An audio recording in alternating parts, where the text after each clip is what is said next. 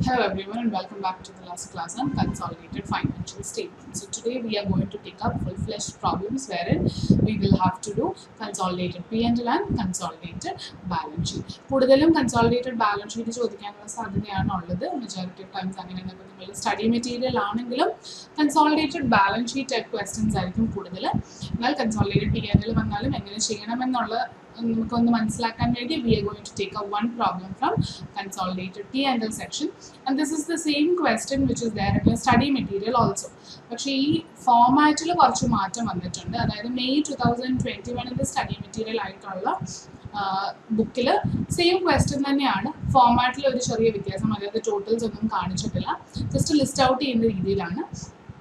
എന്നാൽ the question same question നമ്മളത് proper P and ഫോമാറ്റിലൊന്ന് കാണിച്ചിട്ടുണ്ട്. പിന്നെ ടാക്സ് ആൻഡ് ഡിവിഡൻഡ് ഡീറ്റെയിൽസ് ഇവിടെ അഡീഷണലി ഉണ്ട്. അപ്പോൾ that information is not available in your study material illustration illustration number nine ആണ് സ്റ്റഡി മെറ്റീരിയൽ സെയിം ക്വസ്റ്റ്യൻ ആണ് സെയിം എമൗണ്ട്സ് ആണ്. ടാക്സും ഡിവിഡന്റും ഒന്നും ഇല്ല എന്നുള്ള വ്യത്യാസം മാത്രമേ ഉള്ളൂ. സെയിം ക്വസ്റ്റ്യൻ ആണ്. അപ്പോൾ ഈ ഒരു മോഡിഫിക്കേഷൻ വന്നതാണ് സെയിം ക്വസ്റ്റ്യൻ അപ്പോൾ നമുക്ക് ഇതുപോലെ തന്നെ ഒന്ന് വർക്കൗട്ട് ചെയ്ത് നോക്കാം. Given below are the profit and loss accounts of H Limited and S Limited for the year ended 31st March 2017. In lakhs ആണ് എല്ലാം തന്നിരിക്കുന്നത്. Sales and other income increase in inventory അപ്പം നമുക്ക് തന്നിരിക്കുന്ന ഇൻഫർമേഷൻ ഏത് രീതിയിലാണെങ്കിലും in presenting you will have to remember schedule three of companies ആക്ടിൽ എങ്ങനെയാണോ P and balance sheet പറഞ്ഞിരിക്കുന്നത്. Same format തന്നെയാണ് നമ്മൾ ഫോളോ ചെയ്യുന്നത്. സോ ഏത് ഫോർമാറ്റിൽ ക്വസ്റ്റ്യൻ തന്നാലും നിങ്ങൾ ആൻസർ ചെയ്യുമ്പോൾ ഷെഡ്യൂൾ ത്രീ ഓർത്ത് വേണം റെക്കോർഡ് ചെയ്യാം എക്സ്പെൻസസ് തന്നിട്ടുണ്ട് selling and administration interest depreciation everything other ഇൻഫർമേഷനിൽ H limited sold goods to S limited H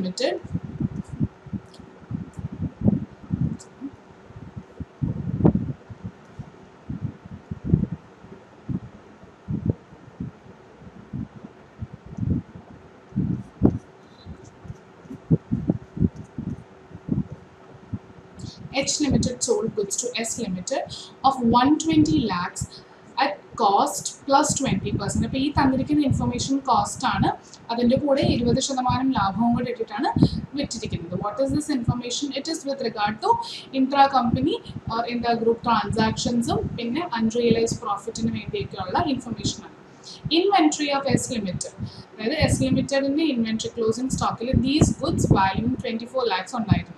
അതായത് H sold to good S limited ആണ് intra group owings sorry intra group transactions inventory unrealised profit എല്ലാം അടങ്ങുന്ന രണ്ട് sentence ആണ് Administrative expenses of S Limited includes 5 lakh paid to H Limited as consultancy fees. അതായത് S ലിമിറ്റഡിന്റെ administrative എക്സ്പെൻസസിലുണ്ട് അതായത് S limited എച്ചിന് കൊടുത്തു. ഹോൾഡിംഗ് കമ്പനിക്ക് കുറച്ച് പൈസ കൊടുത്തു. ഹോൾഡിംഗ് കമ്പനി അത് കൺസൾട്ടൻസി ഫീസ് റിസീവ് ചെയ്തതുപോലെയാണ് എഴുതിയിരിക്കുന്നത്. എച്ച് ലിമിറ്റഡ് നിന്ന് എക്സ്പെൻസ് ആയിട്ട്. Selling and distribution expenses of H limited include ten lakhs paid to H limited as commission ഇതും ഒരു ഇൻട്രാ ഗ്രൂപ്പ് ട്രാൻസാക്ഷൻ ആണ് തന്നിരിക്കുന്നത്. അപ്പോൾ ബാലൻസസ് മാത്രമല്ല എന്തെങ്കിലും മ്യൂച്വൽ അങ്ങോട്ടും ഇങ്ങോട്ടും ട്രാൻസാക്ഷൻസ് നടത്തിയിട്ടുണ്ടെങ്കിൽ അതും എലിമിനേറ്റ് ചെയ്യണം. അതായത് ലെഡ്ജറുകളിൽ നിന്നോ ഹെഡുകളിൽ നിന്നോ. H Limited holds 80% of equity share capital of 1000 lakhs uh, in S Limited prior to 2015-16. He took he uh, H Limited took credit to his profit and loss account. The proportionate amount of dividend declared and paid by S Limited for the year 2015-16, you are required to prepare a consolidated profit and loss account of H Limited and its subsidiary S Limited for the year ended 31st March 2017. ഇനി H ലിമിറ്റഡും S ലിമിറ്റഡും single subsidiary ക്വസ്റ്റനിലാണ് നിങ്ങൾക്ക് വരാൻ സാധ്യതയുള്ളത് multiple multiple അല്ലെങ്കിൽ multiple ഡേറ്റ്സിൽ പല investment investment വാങ്ങിക്കുന്ന രീതിയിലുള്ള question ഒന്നും ഇന്റർ ലെവലിൽ നിങ്ങൾക്കില്ല.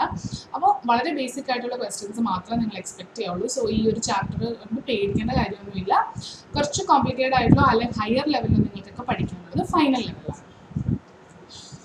you are required to prepare consolidated profit and loss account. അപ്പോൾ നമ്മൾ ഹെഡിങ് എഴുതേണ്ടത് എപ്പോഴും consolidated profit and loss account അല്ലെ consolidated cash flow statement or consolidated balance sheet of holding കമ്പനിയുടെ പേര് ആൻഡ് സബ്സിഡിയറി പേര് അങ്ങനെ വേണം എഴുതാൻ. So consolidated profit and loss account ഇവിടെ തന്നിരിക്കുന്ന ഈ സെന്റൻസ് പോലെ തന്നെ വേണം എഴുതാൻ.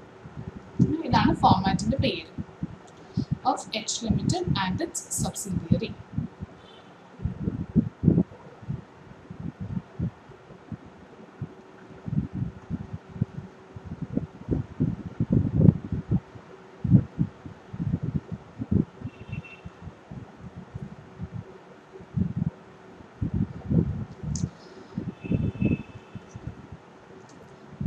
Particulars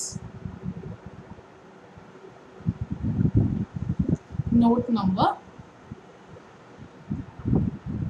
And amount in ക്വസ്റ്റ്യനിലെല്ലാം in lakhs ആണ് തന്നത് സോ ആൻസറും അങ്ങനെ തന്നെ എഴുതും. നമുക്ക് കുറച്ചും കൂടി ഈസി ഉണ്ടായിരിക്കും. അതിന് വേണ്ടി അത് തന്നെ ചൂസ് ചെയ്തതേ ഇനി നോട്ട് നമ്പർ ഒക്കെ നമ്മൾക്കറിയാം.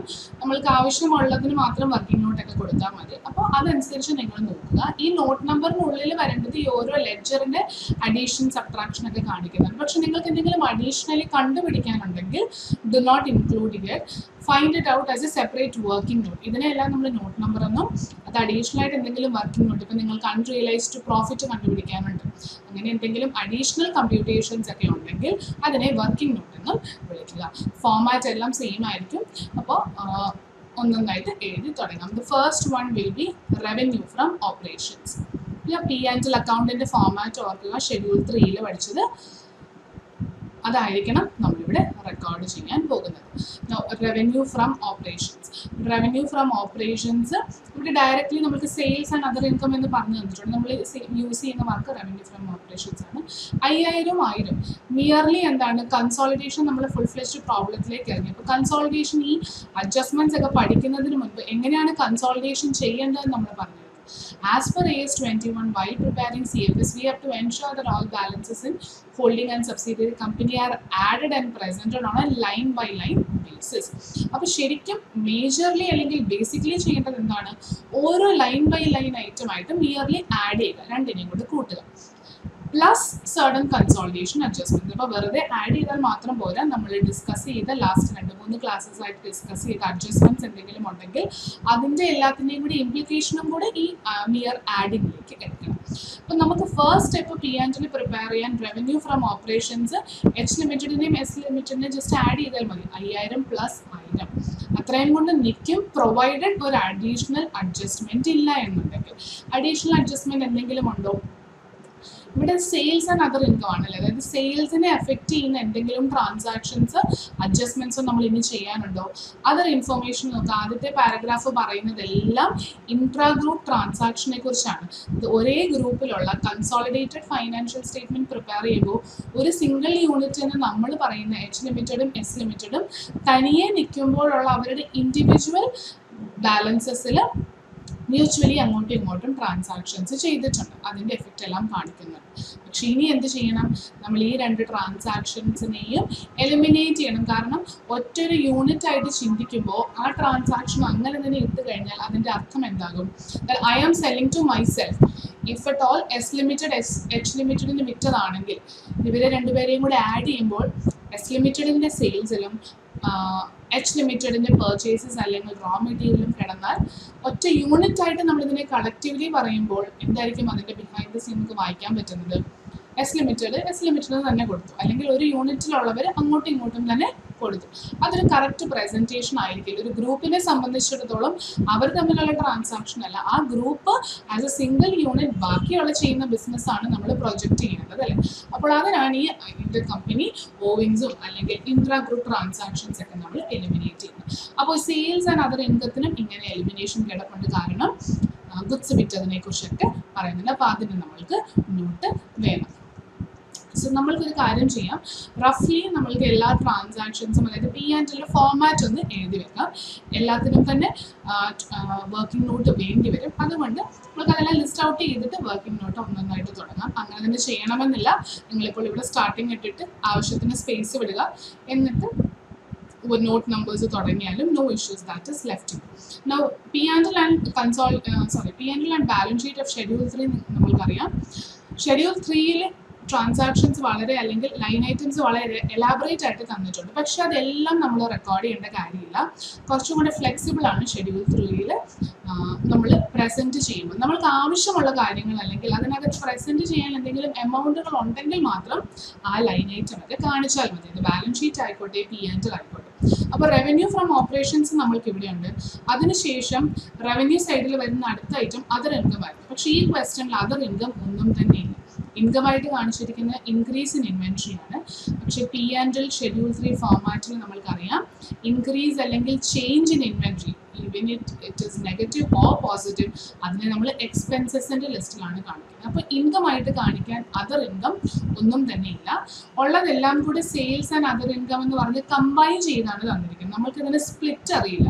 അപ്പോൾ നമ്മൾ മുഴുവനെയും റവന്യൂ ഫ്രം ഓപ്പറേഷൻസ് ആയിട്ടാണ് വിളിക്കുന്നത്. അപ്പോൾ ഇനി അടുത്ത അതർ ഇൻകം ആഡ് ചെയ്യാനില്ല. So next step will be to find out the total revenue total revenue എന്ന് എടുത്ത് എഴുതിയാൽ മതി. ആ ഫോമാറ്റ് അങ്ങനെ തന്നെ ഫോളോ ചെയ്യാൻ വേണ്ടി എടുത്തെഴുതുന്നേ ഉള്ളൂ. ആഡ് ചെയ്യേണ്ട എമൗണ്ടുകളൊന്നും തന്നെ ഇല്ല. മൂന്നാമത്തെ ഹെഡിങ്ങിലാണ് we will list out all expenses one by one അതിൽ ഏറ്റവും ആദ്യത്തെ എന്താണ്? Cost of materials consumed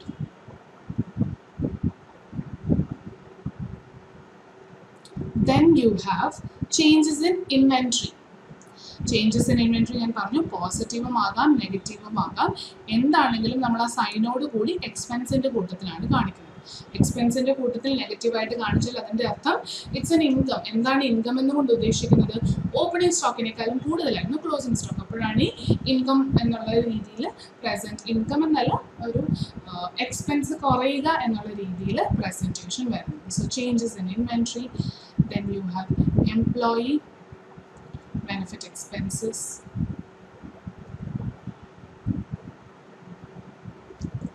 finance cost, depreciation and amortization expenses,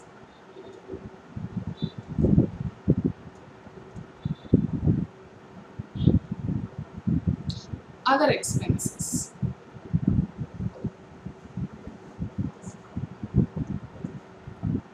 You get total expenses here. Total കിട്ടിക്കഴിഞ്ഞാൽ അടുത്തത് എന്താണ് profit or loss before tax ഇപ്പം നമുക്ക് പ്രോഫിറ്റ് ബിഫോർ ടാക്സ് എന്ന് വിളിക്കാം profit before tax we have chosen same ക്വസ്റ്റിന് തന്നെ കുറച്ചുകൂടി extensive format ആയിട്ട് അതുകൊണ്ട് നമ്മൾ ടാക്സിന്റെ ഇംപ്ലിക്കേഷൻസും കൂടെ കാണിക്കും. സ്റ്റഡി മെറ്റീരിയൽ ഉള്ള ക്വസ്റ്റ്യൻ ആണെങ്കിൽ ഈ പ്രോഫിറ്റ് ബിഫോർ ടാക്സ് വരെ ഉള്ളൂ. അതുകൊണ്ട് ആൻസർ നമ്മൾക്ക് ഇവിടെ കൊണ്ട് വേണമെങ്കിൽ നിർത്താം. നമ്മൾ ഫുൾ ഫ്ലേഷ് ആയിട്ട് ചെയ്യുന്നത് കാരണം we will go with next also next will be profit after before ടാക്സിന് ശേഷം പിന്നെ നമ്മൾ പ്രസന്റ് ചെയ്യുന്നത് ടാക്സ് എക്സ്പെൻസ് ആയിരിക്കും.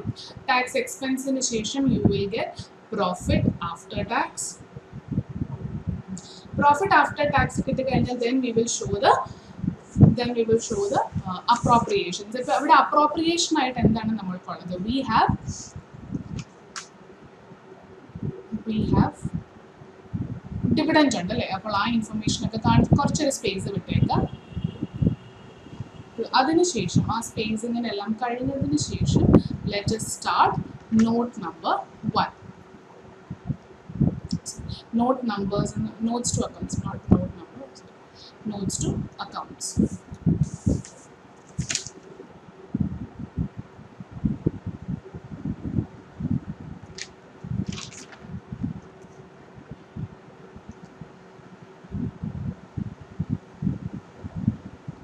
Particulars ഇന്ന കോളം ഒന്ന് കൊടുക്കുന്നേ ഉള്ളൂ. എന്തെങ്കിലും വർക്കിങ്സ് ഒക്കെ ചെയ്യാൻ ഏറ്റവും ആദ്യത്തെ നോട്ട് എന്തായിരിക്കും? നമ്മൾക്ക് നമ്പേഴ്സ് ചൂസ് ചെയ്യാം. അതും ഫ്ലെക്സിബിൾ ആണ്. ഷെഡ്യൂൾ ത്രീയിൽ പറയുന്നത്. ഫിക്സഡ് നോട്ട് നമ്പേഴ്സ് ഒന്നുമില്ല. You can choose wherever you want to have working or detailed presentation അപ്പം നമ്മൾക്ക് എല്ലാത്തിനും തന്നെ വേണം. ഏറ്റവും ആദ്യത്തെ നമ്മൾ ചൂസ് ചെയ്യുന്നത് റവന്യൂ ഫ്രം ഓപ്പറേഷൻസ് ആണ്. Revenue from operations in the sense sales and other income എന്ന് പറഞ്ഞ് നമ്മൾക്ക് തന്നിരിക്കുന്ന head So what should be the first step consultation പ്രോസസ്സിലെ പ്രൊസീജിയറിലെ first step mere line by line adding അപ്പോൾ എച്ച് ലിമിറ്റഡിന്റെയും S ലിമിറ്റഡിന്റെയും sales നമ്മൾ ആദ്യം ആഡ് ചെയ്യണം. അതാണ് ഫസ്റ്റ് എത്രയുണ്ട് സെയിൽസ് തന്നിരിക്കുന്നത്? Five thousand plus thousand in lakhs ആണ് ഹെഡിങ് അതുകൊണ്ട് മിയർലി ആഡ് ചെയ്താൽ മതി. Five thousand plus thousand now we have to adjust for adjust for intercompany inter group transactions also അല്ലേ? അല്ലെ ഗ്രൂപ്പ് ട്രാൻസാക്ഷൻസ് നമ്മൾ എലിമിനേറ്റ് ചെയ്യാൻ പോവുകയാണ്. എലിമിനേറ്റ് ചെയ്യുമ്പോൾ ഏറ്റവും ആദ്യത്തെ പോയിന്റ് നോക്കുക. H limited sold goods to S limited അതായത് എച്ചിന്റെ സെയിൽസിനകത്ത് ഒരു സെയിൽ ഫിഗർ കിടപ്പുണ്ട്. അപ്പോൾ ഇൻട്രാ ഗ്രൂപ്പ് ട്രാൻസാക്ഷൻ ആണ് സെയിൽ ഉണ്ട്. പർച്ചേസിനകത്ത് എസിന്റെ അകത്തും ഈ ഇൻഫർമേഷൻ കിടപ്പുണ്ട് അല്ലേ? സോ നമ്മൾ രണ്ടും എലിമിനേറ്റ് ചെയ്യണം. This is the same treatment of question number eight we had discussed in last class question number എയ്റ്റിൽ നമ്മൾ പറഞ്ഞ സെയിം കാര്യം തന്നെയാണ്. ഇതൊരു ഫുൾ ഫ്ലെജ്ഡ് പ്രോബ്ലത്തിനുള്ളിൽ വന്നു എന്നുള്ളതേ അതിൽ നമ്മൾ പറഞ്ഞപ്പോൾ അല്ലെങ്കിൽ ഡിസ്കസ് ചെയ്തപ്പോൾ ഞാനൊരു പോയിന്റ് പറഞ്ഞിരുന്നു. Remove intra group transaction both sale and purchase only at cost of sale അതായത് സെയിലിൽ നിന്നും പർച്ചേസിൽ നിന്നും എലിമിനേറ്റ് ചെയ്യേണ്ടത് കോസ്റ്റ് ഓഫ് സെയിൽ മാത്രം ആണ്. കോസ്റ്റ് ഓഫ് സെയിൽ ഈ ക്വസ്റ്റ്യനിൽ എത്രയാണ്? വിറ്റിരിക്കുന്നത് one twenty lakhs at cost plus twenty percent അപ്പോൾ കോസ്റ്റ് ഓഫ് സെയിൽസ് എത്രയാണ്? വൺ ട്വന്റി ലാക്സ് ശരിക്കും സെല്ലിംഗ് പ്രൈസ് എത്രയുണ്ട്? One twenty into one forty four ആണ് സെല്ലിംഗ് പ്രൈസ് പക്ഷേ കോസ്റ്റ് ഓഫ് സെയിൽസോ വൺ ട്വന്റി ലാക്സ് മാത്രം. അപ്പോൾ എന്താണ് നമ്മൾ എലിമിനേറ്റ് ചെയ്യേണ്ടത്? Eliminate only in the company സെയിൽസിലെ inter company സെയിൽസിലെ കോസ്റ്റ് ഓഫ് സെയിൽ മാത്രം എലിമിനേറ്റ് ചെയ്യുക. ഇമ്പോർട്ടന്റ് പോയിന്റ് ഓർത്തിരിക്കുക. കോസ്റ്റ് ഓഫ് സെയിൽ മാത്രം eliminate cost of sale one twenty lakhs ആണ്. അത് എലിമിനേറ്റ് ഇനി ഇതേപോലെ എന്തെങ്കിലും ട്രാൻസാക്ഷൻസ് ഒക്കെ ഉണ്ടെങ്കിൽ അതെല്ലാം എലിമിനേറ്റ് ചെയ്യും അടുത്തത് എന്തായിരുന്നു?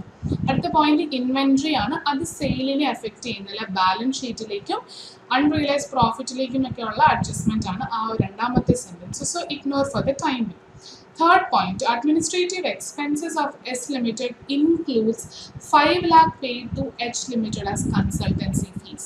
അതായത് എസ് ലിമിറ്റഡിന്റെ അഡ്മിനിസ്ട്രേറ്റീവ് എക്സ്പെൻസ് കിടക്കുന്നത് എച്ച് ലിമിറ്റഡിന് കൺസൾട്ടൻസി ഫീസ് ആയിട്ട് കൊടുത്താണ് അപ്പോൾ എച്ച് എസ് ലിമിറ്റഡിന്റെ എക്സ്പെൻസിൽ ഉണ്ടെങ്കിൽ അത് എച്ച് ലിമിറ്റഡിന്റെ ഇൻകത്തിലുമുണ്ട് ഇവിടെ കൺസൾട്ടൻസി ഫീസ് എന്ന് പറഞ്ഞൊരു ഇൻകം ബൈഫൊക്കേഷൻ ഇല്ല. എല്ലാം സെയിൽ ആൻഡ് അതർ ഇൻകം എന്ന് പറഞ്ഞൊരു കമ്പൈൻഡ് ഫിഗർ ആണ്. അപ്പോൾ ഈ കൺസൾട്ടൻസി ഫീസ് എവിടെ കിടപ്പുണ്ടായിരിക്കും? ഈ അയ്യായിരത്തിനുള്ളിൽ കാണില്ല. അതും നമ്മൾ എലിമിനേറ്റ് ചെയ്യേണ്ടത് how much should be eliminated five lakhs so next is commission received by commission and the consultancy let me just check sorry it was consultancy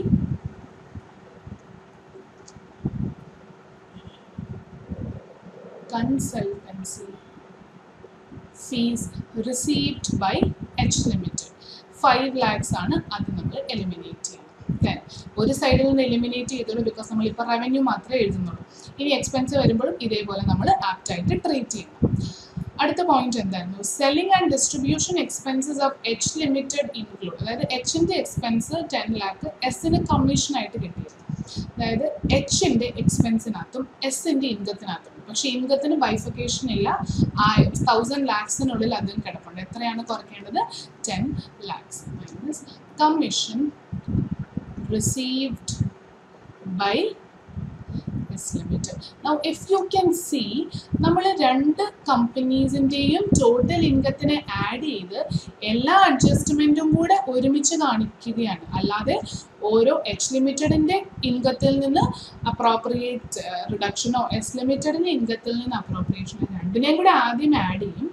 എന്നിട്ട് അഡ്ജസ്റ്റ് ചെയ്യാനുള്ളതെല്ലാം മുഴുവനായിട്ടും അങ്ങോട്ട് അഡ്ജസ്റ്റ് ചെയ്താൽ മതി. അല്ലാതെ നിങ്ങൾ ബൈഫക്കേറ്റ് ചെയ്ത് എഴുതേണ്ട കാര്യമില്ല. അത് കഴിഞ്ഞിട്ടുള്ള പോയിന്റ് എന്താണ്? Next point is with regard to investment കോസ്റ്റും ഡിവിഡന്റിനെ കുറിച്ചൊക്കെയാണ് അല്ലേ? പക്ഷെ അതൊന്നും നമ്മുടെ റവന്യൂ ഫ്രം ഓപ്പറേഷൻസിനെ അഫക്റ്റ് ചെയ്യുമോ ഒന്നും തന്നെ അഫക്റ്റ് ചെയ്യില്ല. So for we have reach the complete note number one അപ്പോൾ ഇതിന്റെ ആൻസർ മാത്രം ഒന്ന് കണ്ടുപിടിച്ച് എഴുതുക which is six thousand minus one twenty minus five minus ten we can say it is five thousand eight sixty five ഈ answer കിട്ടിയാണ്. It is better you go and and fill it in your main answer അപ്പോൾ നിങ്ങളുടെ main answer അത്രത്തോളം complete ആയിരിക്കും. ആൻസറിന് score ചെയ്യാനും എളുപ്പമായിരിക്കും. If at all നിങ്ങൾക്ക് complete ചെയ്യാൻ പറ്റിയില്ലെങ്കിലും ഇത്രയും കംപ്ലീറ്റ് ചെയ്യും മെയിൻ ആൻസർ കുറേയൊക്കെ കംപ്ലീറ്റ് ചെയ്ത് കഴിഞ്ഞാൽ അതനുസരിച്ചുള്ള വാല്യുവേഷൻ നടക്കും. ഇനി റവന്യൂ ഫ്രം ഓപ്പറേഷൻസ് മാത്രമുള്ളത് കാരണം ടോട്ടൽ റവന്യൂ ഞാൻ ഇമ്മീഡിയറ്റ്ലി തന്നെ എഴുതിയുന്നുള്ളൂ അടുത്ത നോട്ട് എന്തായിരിക്കും? കോസ്റ്റ് ഓഫ് മെറ്റീരിയൽസ് കൺസ്യൂംഡ് അപ്പോൾ note number two note number two cost of materials consumed again ആദ്യത്തെ step is always merely adding both line items അതാണ് ആദ്യത്തെ സ്റ്റെപ്പ് അത് കഴിഞ്ഞിട്ട് അഡ്ജസ്റ്റ്മെന്റ്സ് എല്ലാം ഉണ്ടെങ്കിൽ അഡ്ജസ്റ്റ് ചെയ്തോളൂ. കോസ്റ്റ് ഓഫ് മെറ്റീരിയൽസ് കൺസ്യൂംഡ് എത്രയാണ്? Eight hundred and two hundred add ചെയ്യുക. Eight hundred and two hundred so 1000 now think about any intra group transactions that you have to eliminate. അപ്പോൾ inter company sales നമ്മൾ ഒരെണ്ണം eliminate ചെയ്തു അല്ലേ? അപ്പോൾ അതിന്റെ opposite effect ആയിട്ട് ഒരു പർച്ചേസ് കാണുമല്ലോ. അത് ആരുടെ ബുക്സിലാണെങ്കിലും നിങ്ങളൊന്ന് മനസ്സിലാക്കി വെച്ചാൽ മതി. ഇവിടെ ബൈഫക്കേഷൻ കാണിക്കണം ഡയറക്റ്റ്ലി നമ്മൾക്ക് അങ്ങോട്ട് മൈനസ് ചെയ്താൽ മതി. അപ്പോൾ എത്രയാണ് മൈനസ് ചെയ്യേണ്ടത്? മൈനസ് ഇന്റർ കമ്പനി പർച്ചേസസ് സെയിലിന്റെ അവിടെ മാത്രം നിങ്ങൾ കോസ്റ്റ് ഓഫ് സെയിൽ എന്നൊന്ന് എഴുതി ഓർത്തിരുന്നാൽ മതി പർച്ചേസിൽ എന്തായാലും ഈ കോസ്റ്റ് മാത്രമേ കാണുള്ളൂ so eliminate only one twenty ഈ ഒരു പോയിന്റിലാണ് കോസ്റ്റ് ഓഫ് സെയിൽ ആണ് എലിമിനേറ്റ് ചെയ്യേണ്ടത് എന്നുള്ള കാര്യം നിങ്ങൾ ഓർത്ത് വെക്കേണ്ടത് so inter company purchase one twenty മാറ്റി കഴിഞ്ഞാൽ we can say the cost of materials consumed eight eighty lakhs so cost of materials consumed ആ റോ മെറ്റീരിയൽ നമ്മൾ കണ്ടുപിടിച്ചു. കഴിഞ്ഞു ഇനി അടുത്തത് വേജസ് ആൻഡ് സാലറീസ് ആണ് അതെല്ലാം എംപ്ലോയി ബെനിഫിറ്റ് എക്സ്പെൻസ് ആണ് ഈ production expenses which will also get added to raw material consumed അപ്പോൾ പ്രൊഡക്ഷൻ എക്സ്പെൻസ് എത്രയുണ്ട്? ടു ഹൺഡ്രഡ് പ്ലസ് ഹൺഡ്രഡ് അപ്പോൾ അതും കൂടെ കോസ്റ്റ് ഓഫ് മെറ്റീരിയൽ കൺസംഷനിലേക്ക് ആഡ് ആവും. കാരണം അതുണ്ടെങ്കിൽ റോ മെറ്റീരിയൽ നിന്ന് ഫിനിഷ്ഡ് ഗുഡ് ആവുകയുള്ളൂ അല്ലേ? So production expenses H limited and S limited two hundred and hundred so put together three hundred അപ്പോൾ total cost of material consumed എന്ന് പറയുന്നത് തൗസൻഡ് വൺ എയ്റ്റി ആണ് അത് നമ്മൾ മെയിൻ ആൻസറിൽ പോയി record Then it is changes in inventory note number three. Now changes in inventory can be both positive and negative like already explained. Changes in inventory. H limited and S limited. അപ്പോൾ എത്രയാണ് information തന്നിരിക്കുന്നത് നോക്കാം ഇവിടെ income ആയിട്ട് കാണിച്ചിരിക്കുന്നതാണ് because that would be indication that it's closing stock ആണ് opening സ്റ്റോക്കിനേക്കാളും കൂടുതൽ എത്ര ഉള്ളൂ. പക്ഷെ നമ്മൾ പ്രസന്റ് ചെയ്യുമ്പോൾ എക്സ്പെൻസിന്റെ ലിസ്റ്റിൽ പോയിട്ട് നെഗറ്റീവായിട്ട് കാണിക്കാം. എച്ച് ലിമിറ്റഡിന് ആയിരം എസ് ലിമിറ്റഡിന് ഇരുന്നൂറും. സോ തൗസൻഡ് ടു ഹൺഡ്രഡ് ഇതാണ് ടോട്ടൽ ഇൻവെൻട്രി എന്നാൽ ഇൻവെൻട്രി അതർ ഇൻഫർമേഷനിൽ ഒരു ഇന്റർ കമ്പനി സെയിലിനെ കുറിച്ച് പറയുന്നുണ്ട് അല്ലേ?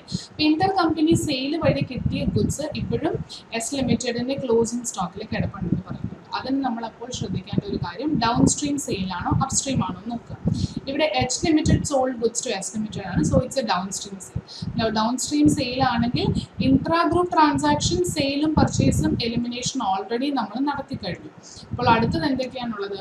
അൺറിയലൈസ് പ്രോഫിറ്റിനെ ഇൻവെൻട്രിയിൽ നിന്നും പി ആൻഡ് ആൻഡിൽ നിന്നും എലിമിനേറ്റ് ചെയ്യുക. എങ്ങനെയാണ് നമ്മൾ ചെയ്യാൻ പോകുന്നത്?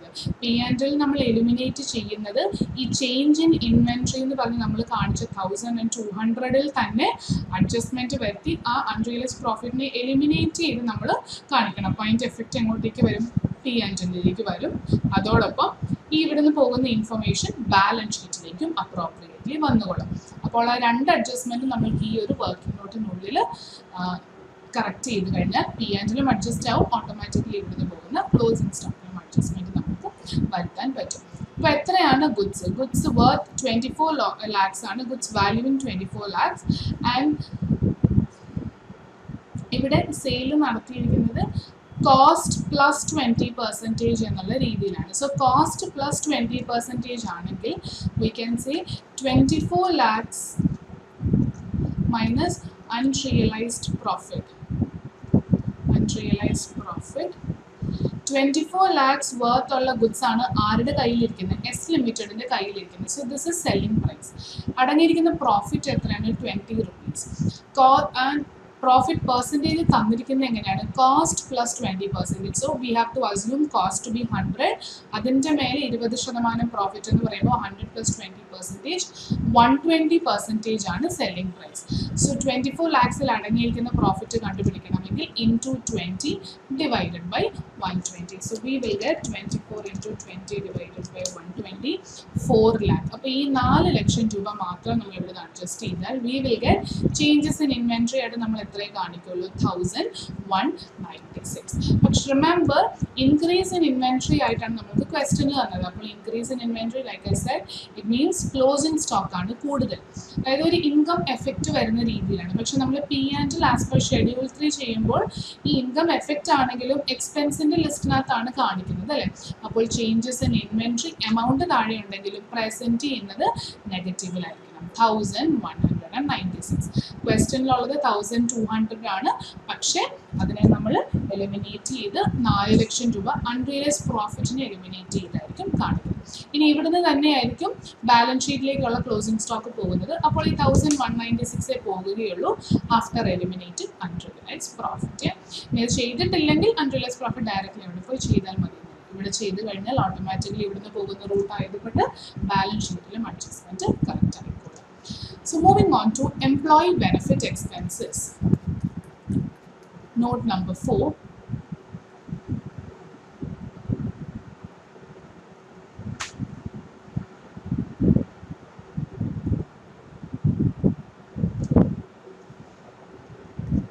employee benefit expenses ക്വസ്റ്റ്യനിലുള്ളത് wages and salary ഉണ്ട്. പിന്നെ ഉള്ളത് അഡ്മിനിസ്ട്രേറ്റീവും സെല്ലിംഗ് ആൻഡ് ഡിസ്ട്രിബ്യൂഷൻ ഒക്കെയാണ്. അതൊക്കെ നമ്മൾക്ക് അതർ എക്സ്പെൻസിൽ കാണിക്കാവുന്നതാണ്. അപ്പോൾ വേജസ് ആൻഡ് സാലറി എയ്റ്റ് ഹൺഡ്രഡും വൺ ഫിഫ്റ്റി ഉള്ളൂ. അതിനൊന്നും അഡീഷണൽ പോയിന്റ്സ് ഒന്നുമില്ല. സോ ഡയറക്റ്റ് ആഡ് ചെയ്തിട്ട് മെയിൻ കൺസോളിഡേറ്റ് പി ആൻഡിലേക്ക് കൊണ്ടുവരേണ്ട കാര്യമാണ് ഒരു അഡ്ജസ്റ്റ്മെന്റും ഇല്ലെങ്കിൽ വളരെ എളുപ്പമാണ്. ഓരോന്നിന്റെയും എമൗണ്ടുകൾ ഇന്നർ കോളത്തിൽ എഴുതുക. രണ്ടിനെയും കൂടി ആഡ് ചെയ്ത് ഔട്ടർ കോളത്തിൽ എഴുതി മെയിൻ പി എൻ എൻഡിലേക്കോ ബാലൻസ് ഷീറ്റിലേക്കോ കൊണ്ടുപോകും H limited and S limited eight hundred and one fifty so you get nine fifty so employee benefit എക്സ്പെൻസിന്റെ ഇനി അടുത്തത് ഫൈനാൻസ് കോസ്റ്റ് ആണ് five so finance cost note number five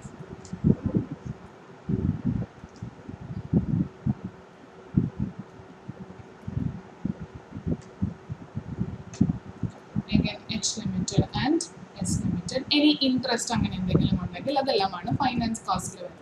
അപ്പം നമ്മുടെ ക്വസ്റ്റനിൽ interest ഉണ്ടായിരുന്നു hundred and fifty that also doesn't have any additional points അപ്പോൾ അത് merely add ചെയ്ത് റെക്കോർഡ് ചെയ്യും so finance cost interest hundred and one fifty hundred and fifty ആണ്.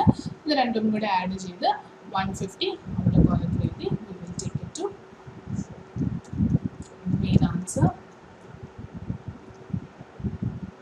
then we have depreciation and amortization expenses hundred and fifty അതും nearly add ചെയ്തൊക്കെ കാണിച്ചാൽ മതി. പക്ഷെ എല്ലാം ഈ അഡീഷനാണ് ഈ കൺസോൾട്ടേഷനിൽ മെയിനായിട്ട് വരുന്നത്. അതുകൊണ്ട് അത്ര മാത്രമേ ഉള്ളൂ എന്ന് വെച്ച് എഴുതാതെ പോകരുത്. അതൊരു നോട്ടായിട്ട് തന്നെ കാണിക്കും.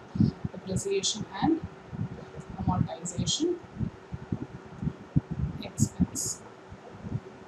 H limited S limited 150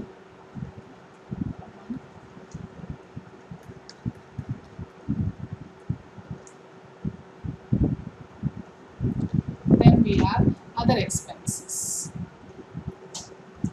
Other എക്സ്പെൻസസിനകത്ത് നമ്മൾക്ക് ഇവിടെ ഉള്ളത് അഡ്മിനിസ്ട്രേറ്റീവ് സെല്ലിംഗ് ഡിസ്ട്രിബ്യൂഷൻ ആണ്. സോ ഓരോന്നോരോന്നായിട്ട് റെക്കോർഡ് ചെയ്യുക. Administrative expenses two hundred and hundred ഒരു മേജർ നോട്ട് കൊടുത്താൽ മതി അതർ എക്സ്പെൻസ് അതിനുള്ളിൽ ബൈഫക്കേറ്റ് ചെയ്ത് ഓരോന്നോരോന്നുമായിട്ട് കാണിച്ചു.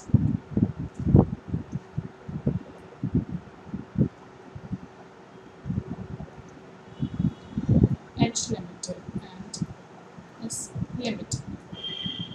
200 and 100.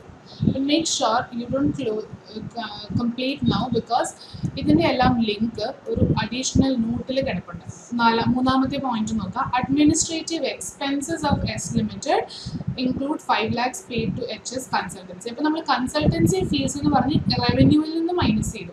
അപ്പോൾ അതിന്റെ കറസ്പോണ്ടിങ് എഫക്റ്റ് എക്സ്പെൻസുകളിൽ നിന്ന് മൈനസ് ചെയ്യേണ്ടി വരണം അത് അഡ്മിനിസ്ട്രേറ്റീവ് എക്സ്പെൻസ് കിടപ്പുണ്ട്. എസിന്റെ ആണ് പക്ഷെ നമ്മൾ കാറിന്റെ കയ്യിൽ നിന്നാണെന്ന് സെപ്പറേറ്റ്ലി കാണിക്കേണ്ട കാര്യമില്ല. അങ്ങനെ മൈനസ് ചെയ്താൽ മതി. Consultancy fees paid by yes 5 lakhs worth. So we can say 295 Anna administrative expenses. Then we have selling and distribution expenses.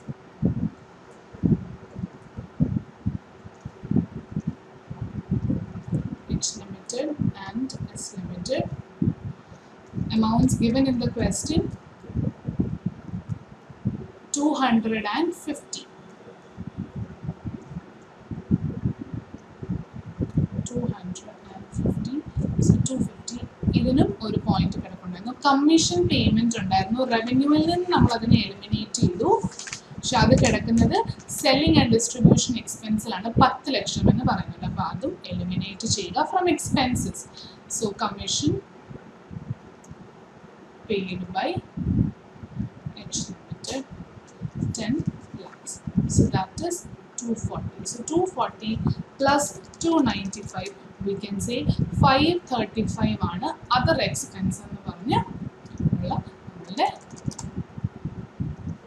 എക്സ്പെൻസസിന്റെ total five hundred and thirty five record the last so five thirty five കൂടെ വന്നു കഴിയുമ്പോൾ we can show the total expenses total expense കാണിക്കാം. Total expense will be 535 plus 150 plus 150 plus 950 plus 1180 minus 1196 that is 1769 so profit before tax എത്രയായിരിക്കും 1769 minus 5865 that is 4096 now ഞാൻ പറഞ്ഞതുപോലെ ഈ question study material ഉള്ളതാണ്. Study material ഇവിടം കൊണ്ട് ഈ ക്വസ്റ്റ്യന്റെ ആൻസർ തീരുകയാണ്. Because you didn't have expense tax expense ഒന്നും തന്നിട്ടില്ലായിരുന്നു so four thousand ninety six കൊണ്ട് ഈ ആൻസർ തീരുകയാണ്. But since we have expenses നമ്മൾ ടാക്സ് എക്സ്പെൻസ് ഉള്ളത് കാരണം അതും കൂടെ നമുക്ക് നേടാം so profit before tax three thousand six hundred plus five hundred ആണ്. അപ്പോൾ നമ്മൾക്ക് ഫോർ തൗസൻഡ് വൺ ഹൺഡ്രഡ് ആയിരുന്നു കിട്ടിയത്. നമ്മൾക്ക് എത്രയാണ് കിട്ടിയത്? ഫോർ തൗസൻഡ് നയന്റി സിക്സ് നാല് ലക്ഷത്തിന് ഡിഫറൻസ് ആണ്. എന്താണ് നാല് ലക്ഷത്തിന്റെ ഡിഫറൻസ് മ്യൂച്വൽ എലിമിനേഷൻ നടക്കുന്നത്. ഇൻട്രാ ഗ്രൂപ്പ് ട്രാൻസാക്ഷൻ എലിമിനേറ്റ് ചെയ്യുന്നതിന്റെ എഫക്റ്റ് ടോട്ടലിൽ വരില്ല. അല്ലെങ്കിൽ ഫൈനൽ പ്രോഫിറ്റിൽ വരില്ല. എന്തുകൊണ്ടാണ്? റവന്യൂവിൽ നിന്ന് എലിമിനേറ്റ് ചെയ്യുന്നത്. എക്സ്പെൻസിൽ നിന്നും എലിമിനേറ്റ് ചെയ്യുന്നുണ്ട്. പിന്നെ അഡീഷണലി നമ്മൾ എന്ത് മാത്രമാണ് എലിമിനേറ്റ് ചെയ്തത്? ഒരു സൈഡിൽ നിന്ന് അൺറിയലൈസ്ഡ് പ്രോഫിറ്റ് മാത്രം. ആ നാല് ലക്ഷത്തിന്റെ എഫക്റ്റ് ആണ് നമ്മുടെ ഫൈനൽ ആൻസറിൽ വന്നിരിക്കുന്നത്. സോ അടുത്തത് ടാക്സ് എക്സ്പെൻസ് ആണ്. അപ്പോൾ അതിന് നമ്മൾക്ക് എയ്ത്ത് വർക്കിംഗ് നോട്ട് നമ്പർ കൊടുക്കാം ടാക്സ് എക്സ്പെൻസ് ടാക്സ് എക്സ്പെൻസ് ഇവിടെ പ്രൊവിഷൻ ഫോർ ടാക്സ് ആണ് thousand two hundred and two hundred അതിന് വേറെ അഡ്ജസ്റ്റ്മെന്റ് ഒന്നുമില്ല സോ മിയർലി ആഡ് ചെയ്ത് കാണിച്ചാൽ മതി so point number eight tax expenses H limited and S limited 1200 and 200 so that is 1400 Answer will be 1400 so after tax profit എത്രയായിരിക്കും two six nine six ഈ two six nine സിക്സിൽ നിന്നാണ് dividend declare ചെയ്തിരിക്കുന്നത് so profit after tax is 2696 but we can see how much will be the profit transfer to consolidated balance sheet അത് എത്രയാണ് നമ്മൾക്കൊന്ന് നോക്കാം profit after taxes two six nine six എന്നാൽ അതിൽ നിന്ന് ഡിവിഡന്റ് പേ ചെയ്യുന്നുണ്ട് അല്ലേ? സോ ഡിവിഡന്റ് പേ ചെയ്യുമ്പോൾ ആരൊക്കെ പേ ചെയ്യുന്നുണ്ട്? രണ്ടുപേരും പേ ചെയ്യുന്നുണ്ട്. രണ്ടുപേരും in the sense thousand two hundred and one fifty രണ്ടുപേരും ഡിവിഡന്റ് പേ ചെയ്യുന്നുണ്ട് in this question profit after tax കഴിഞ്ഞ് ഡിവിഡന്റ് പേ ഉണ്ട് thousand two hundred and one fifty അപ്പോൾ അത് നമ്മളും കാണിക്കണം അല്ലേ? So dividend paid H limited thousand two hundred and S limited one fifty so total dividend എത്രയാണ്? Thousand three fifty പക്ഷേ ഒരു കാര്യം ഓർക്കേണ്ടത് എസ് ലിമിറ്റഡ് ഡിവിഡന്റ് കൊടുക്കുമ്പോൾ കിട്ടുന്നത് ഒരാൾ ആരാണ്? കിട്ടുന്ന ഒരാൾ എസ് എച്ച് ലിമിറ്റഡ് ആണ്. അപ്പോൾ ഡിവിഡന്റ് പെയ്ഡ് എന്ന് പറഞ്ഞ രണ്ടുപേരുടെ കാണിച്ചാലും ഡിവിഡന്റ് ആയിട്ട് കുറച്ച് തിരികെയും വരുന്നുണ്ട്. ആൻഡ് ആ ഡിവിഡന്റ് മുഴുവൻ ഡിവിഡന്റ് ഇൻകം ആയിട്ട് തന്നെ നമ്മൾക്ക് കാണിക്കും. കാരണം ഫിഫ്റ്റീൻ സിക്സ്റ്റീന് മുൻപ് സെക്കൻഡ് പാരഗ്രാഫിന് അത്ര ഇൻഫർമേഷൻ നോക്കുക. H limited holds eighty percentage share in S limited prior to fifteen sixteen അതായത് സെവന്റീനൊക്കെ ഒരു രണ്ട് വർഷം മുന്നേ ഓണർഷിപ്പ് ട്രാൻസ്ഫർ ആയി കിട്ടിയതാണ് ഹോൾഡിംഗ് സബ്സിഡിയറി ആയിട്ട് കിട്ടുന്നത്. അപ്പോൾ ഈ ഡിവിഡൻഡ് എന്ന് പറയുന്നത് ഫുള്ളി പോസ്റ്റ് അക്വിസിഷൻ ഡിവിഡൻഡ് ആണ്. പോസ്റ്റ് അക്വിസിഷൻ ഡിവിഡൻഡ് ആണെങ്കിൽ എല്ലാത്തിനെയും നമ്മൾക്ക് ഡിവിഡൻഡ് ഇൻകം ആയിട്ട് തന്നെ കാണിക്കാം. അപ്പോൾ full dividend paid thousand two hundred plus one fifty എഴുതിയാലും അഗൈൻ ഇൻട്ര ഗ്രൂപ്പ് ട്രാൻസാക്ഷൻ വരുന്നുണ്ട്. എന്താണ് intra group transaction H limited share of dividend നൂറ്റമ്പത് ലക്ഷം എസ് ലിമിറ്റഡ് ഡിക്ലെയർ ചെയ്യുന്നതിൽ വൺ ഫിഫ്റ്റി ലാക്കിന്റെ എയ്റ്റി പെർസെന്റേജ് ആർക്കുള്ളതാണ്. എച്ച് ലിമിറ്റഡിന് ഉള്ളതാണ്. So therefore we can see one twenty lakh തിരികെ ഡിവിഡന്റ് ആയിട്ട് വന്നുകൊള്ളും അപ്പോൾ അത് എക്സ്പെൻസ് ആയിട്ട് എസ് ലിമിറ്റഡിനെ കാണിച്ചുകൊണ്ട് കാര്യമില്ല. കാരണം തിരികെ ഒരു ഡിവിഡന്റ് ഇൻകമായിട്ട് എച്ച് ലിമിറ്റഡിന്റെ ബുക്സിലേക്ക് വരും. അപ്പോൾ ഇത് രണ്ടും കൂടെ മൈനസ് ചെയ്ത് കഴിയുമ്പോൾ ഉള്ള net amount total dividend paid ആയിട്ട് കാണിച്ചാൽ മതി which is only thousand two thirty So therefore, profit to be transferred to transferred to consolidated balance sheet is 2696 minus 1230 which is 1466 yeah. So with that we complete question number 3 which is there from your study material balance sheet questions ആണ് consolidated എന്ന് കൂടുതലും ചോദിക്കുന്നത് P ആൻഡിൽ കുറച്ചും കൂടെ കുറവായിരിക്കും കാരണം ഇതിൽ അധികം വർക്കിംഗ് നോട്ടൊന്നും ഇല്ല കൂടുതലും ഉള്ളത് ഇൻട്രാ ഗ്രൂപ്പ് ട്രാൻസാക്ഷൻ എലിമിനേഷനും അൺറിയലൈസ് പ്രോഫിറ്റും മാത്രമേ ഉള്ളൂ. പക്ഷേ ബാലൻസ് ഷീറ്റിലാണ് പോസ്റ്റ് അക്വിസിഷൻ ഡിവിഡന്റിന്റെ എഫക്റ്റ് ഇൻവെസ്റ്റ്മെന്റിൽ കാണിക്കുക. Goodwill or capital reserve compute ചെയ്യുക. മൈനോറിറ്റി ഇൻട്രസ്റ്റ് കമ്പ്യൂട്ട് ചെയ്യുക. അങ്ങനെ ഒരുപാട് കമ്പ്യൂട്ടേഷൻസ് വരും. അപ്പോൾ കൂടുതൽ വർക്കിംഗ് നോട്ട് ഉള്ളത് ബാലൻസ് ഷീറ്റിലുള്ളതും നമുക്ക് കൂടുതൽ അറിവ് വേണ്ടത് ബാലൻസ് ഷീറ്റ് പ്രിപ്പറേഷൻ ആണ്. അതുകൊണ്ട് അതായിരിക്കണം മെജോറിറ്റി ഓഫ് ദ ടൈംസ് ചോദിക്കാൻ സാധ്യത. സോ ദോ നമ്മൾ ഒരു ക്വസ്റ്റ്യൻ മാത്രമേ പി ആൻഡിൽ ചെയ്തുള്ളൂ നിങ്ങൾക്ക് ഒന്നുകൂടെ പ്രാക്ടീസ് ചെയ്യണമെങ്കിൽ ഇതേ മോഡലുള്ള ക്വസ്റ്റ്യൻ നോക്കാം but give importance to balance sheet preparation. So let us now do question number two. Given below are the balance sheet of Hello Limited and its subsidiary Sun Limited for the year ended 31st March 2017. And liabilities under equity share capital, reserves and surplus in general reserve, P&L, current liabilities, trade payables, assets, machinery, furniture, shares in Sun Limited. ഇതാണ് non current investment ആയിട്ട് നമ്മൾ share വാങ്ങിച്ചത് current asset inventory all this information. Hello Limited acquired 80% shares of Sun Limited as on 1 4 2016. അപ്പോൾ subsidiary holding ആണ് on the date of acquisition അതായത് balance sheet തുടങ്ങുന്ന ദിവസമാണ് acquisition നടന്നത് അക്വിസിഷന്റെ അന്ന് ജനറൽ റിസർവും പി ആൻഡിലും സൺ ലിമിറ്റഡിന്റെ ഫിഫ്റ്റി തൗസൻഡും തേർട്ടി ആയിരുന്നു respectively machinery book value 2 lakh and furniture book value 40,000 of S Limited were revalued at 3 lakh and 30,000 respectively on 1 for 2016 for the purpose of fixing the price of the shares. Rate of depreciation computed on the basis of useful life, machinery, furniture with that. Trade payables of Hello Limited include 35,000 due to Sun Limited for goods supplied since the acquisition of shares. These goods are charged at 10% above cost. The inventories of Hello Limited includes good costing 55,000 purchased from Sun Limited. You are required to prepare the uh, consolidated balance sheet as at 31st March 2017. For heading, of consolidated balance sheet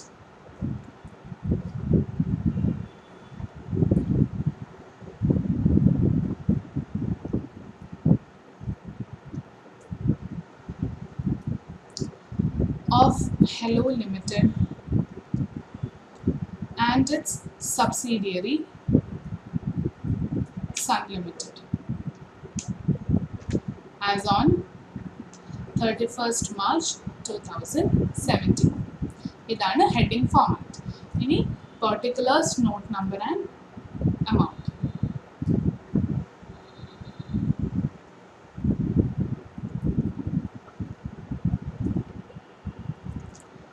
അപ്പോൾ നമുക്ക് format പെട്ടെന്ന് എഴുതാം. എന്നിട്ട് ഓരോന്നോരോന്നായിട്ട് record ചെയ്ത് first equity and liabilities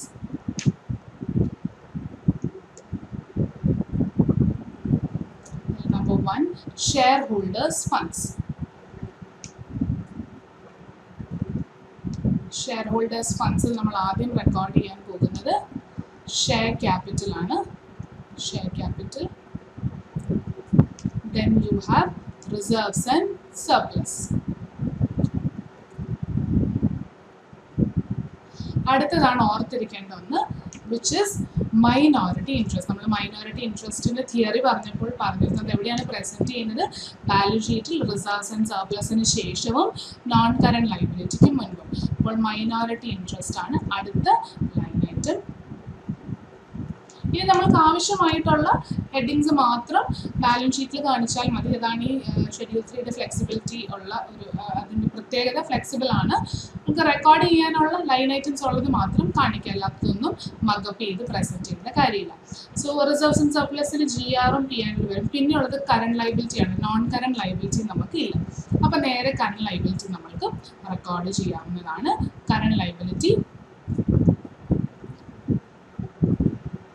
അതിലാകപ്പാട് trade പേയബിൾസുകൾ അപ്പോൾ അത് നമ്മൾ ഞാനിപ്പോൾ ഫോമാറ്റ് മാത്രമേ എഴുതുന്നുള്ളൂ. എമൗണ്ട് നമ്മൾ ഓരോന്നോരോന്നായിട്ട് ഇനി റെക്കോർഡ് ചെയ്യാൻ പോവുകയാണ് സോ ട്രേഡ് പേബിൾസും കഴിഞ്ഞാൽ you have total so total കഴിഞ്ഞാൽ അടുത്തത് നമ്മൾ റെക്കോർഡ് ചെയ്യാൻ പോകുന്നത് അസറ്റ്സ് ആണ്.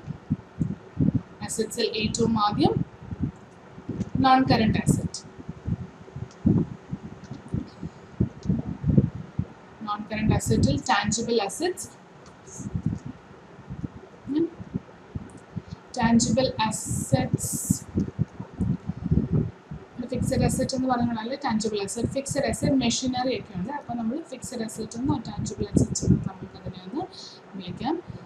ഇതിന്റെയൊക്കെ എക്സ്പ്ലനേഷൻ നമ്മൾ നോട്ടായിട്ട് കൊടുക്കും. അതുകൊണ്ടാണ് ഞാനിപ്പോൾ ഹെഡിങ് മാത്രം എഴുതി പോകും ഇനി വേറെ എന്തെങ്കിലും അസറ്റ്സ് ഉണ്ടെങ്കിൽ അത് ഇൻവെന്റ് ഇൻവെസ്റ്റ്മെന്റ് എന്തായാലും എലിമിനേറ്റ് ആവും. പിന്നെ കറണ്ട് അസറ്റ് ഉണ്ട് അല്ലേ? സോ അതിനുള്ള സ്പേസും കൂടെ വിട്ടേക്കുക. കറണ്ട് അസറ്റ്സ് കറണ്ട് അസറ്റ്സിൽ ഏറ്റവും ആദ്യം inventory then we had trade receivables cash ഇത് ആദ്യമേ തന്നെ എഴുതണമെന്ന് ഒരു നിർബന്ധമില്ല. സ്പേസ് ആവശ്യത്തിന് വിട്ടിട്ട് പിന്നീട് നിങ്ങൾ ഓരോ വർക്കിംഗ് നോട്ട് എഴുതി എഴുതി വരുമ്പോൾ പ്രസന്റ് ചെയ്താലും കുഴപ്പമൊന്നുമില്ല.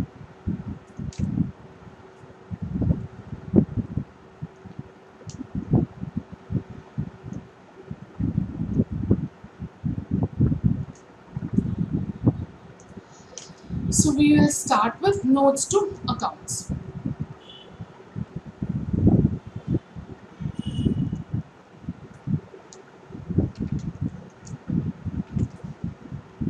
Notes to അക്കൗണ്ട്സിൽ നമുക്ക് ഏറ്റവും അധികം ക്വസ്റ്റനിലേക്ക് ഒന്നും കൂടെ പോയി നോക്കാം നോട്ട്സ് ടു അക്കൗണ്ട്സിൽ ഷെയർ ക്യാപിറ്റൽ ഷെയർ ഹോൾഡേഴ്സ് ഫണ്ട്സിൽ ഏറ്റവും ആദ്യം നമ്മൾ റെക്കോർഡ് ചെയ്യുന്ന ക്യാപിറ്റലാണ് അല്ലെ? ക്യാപിറ്റൽ ആരുടെയൊക്കെ ഉണ്ട്? ഹെലോ ലിമിറ്റഡിന്റെ ഉണ്ട് സൺ ലിമിറ്റഡ് ഹെലോ ലിമിറ്റഡിന് എന്തായാലും നമ്മൾ പ്രസന്റ് ചെയ്യും. What about Sun limited Sun ലിമിറ്റഡിന്റെ share holder funds share capital acquire ചെയ്ത ആരാണ്? ഹെലോ ലിമിറ്റഡ് എൺപത് ശതമാനം അക്വയർ ചെയ്തു. ബാക്കി ട്വന്റി പെർസെന്റേജോ അത് മൈനോറിറ്റി ഇൻട്രസ്റ്റ് ഇൻട്രസ്റ്റുമാണ് ഇനി ടു ലാക്കിന്റെ അപ്പോൾ എയ്റ്റി പെർസെന്റേജ് അതായത് one lakh sixty thousand do we show it in the consolidated balance sheet ഇല്ല നമ്മളത് എന്തിനു ഉപയോഗിക്കും? നമ്മൾ അതിനെ ഇൻവെസ്റ്റ്മെന്റ് ആയിട്ട് നോക്ക് ഓഫ് ചെയ്യാൻ ഉപയോഗിക്കും. അതാണ് നമ്മൾ തിയറിയിൽ ഏറ്റവും ആദ്യം പഠിച്ചത് അല്ലേ? ലൈൻ ബൈ ലൈൻ അഡീഷൻ ആണ് പ്ലസ് കൺസോളിഡേഷൻ അഡ്ജസ്റ്റ്മെന്റ് കൺസോളിഡേഷൻ അഡ്ജസ്റ്റ്മെന്റിൽ ഏറ്റവും ആദ്യം നമ്മൾ പറഞ്ഞത് എന്തിനെ കുറിച്ചാണ് cost of control cost of control നമ്മൾ എന്താണ് ചെയ്യുന്നത്?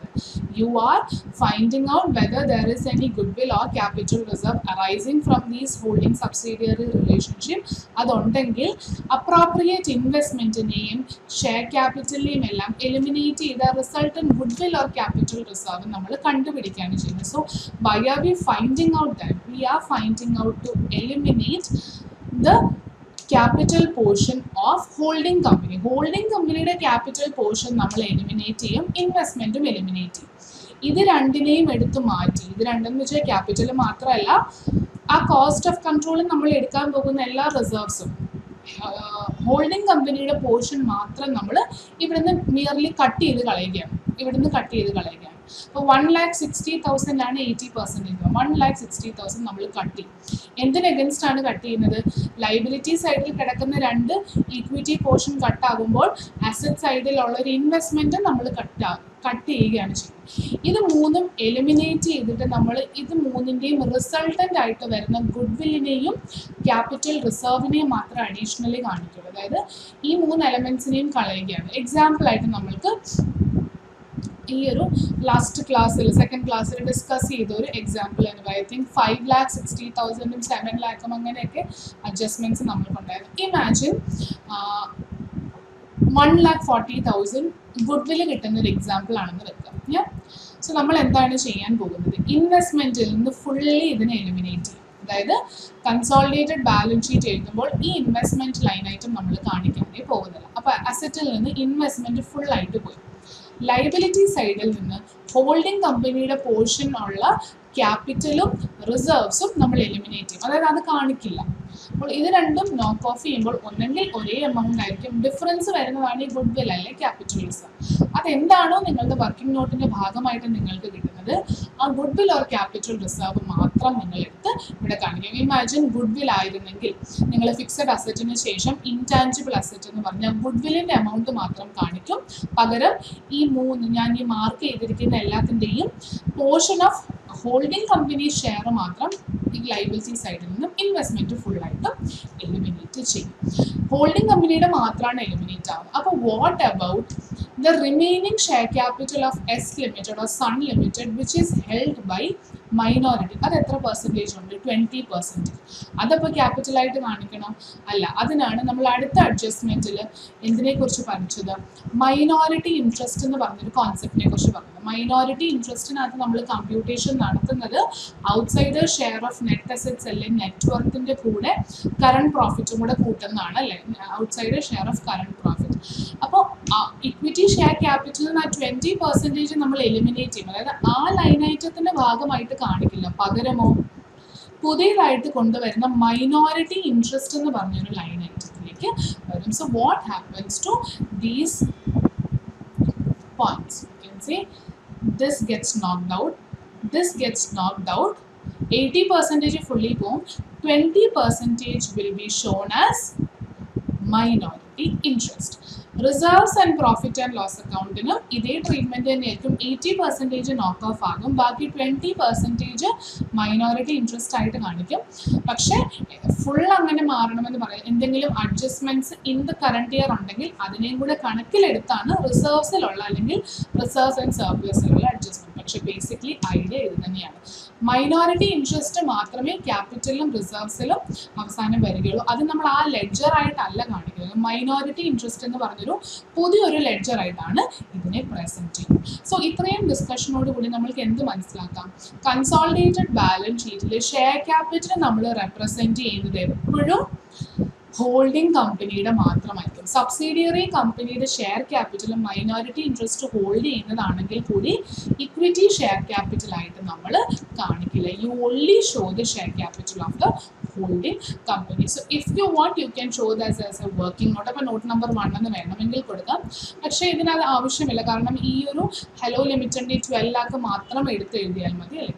അപ്പോൾ അത് നോട്ട് കാണിക്കാതെ വേണമെങ്കിലും നമ്മൾക്ക് ചെയ്യും so I'm not going to show any note I'm just going to write the amount so I have completely ignored Sun ലിമിറ്റഡിന്റെ ഷെയർ ക്യാപിറ്റൽ യാ ആൻഡ് വേണമെങ്കിൽ ഇവിടെ എക്സ്പ്ലെയിൻ ചെയ്യാം. One lakh twenty thousand shares of ten each എന്നുള്ളത് one lakh twenty thousand equity shares of ten each fully but if you want you can show this also as a working note അല്ലെങ്കിൽ note number one ആയിട്ട് കാണിക്കാം. വിരോധമൊന്നും ഇല്ല. അടുത്ത line item എന്താണ്?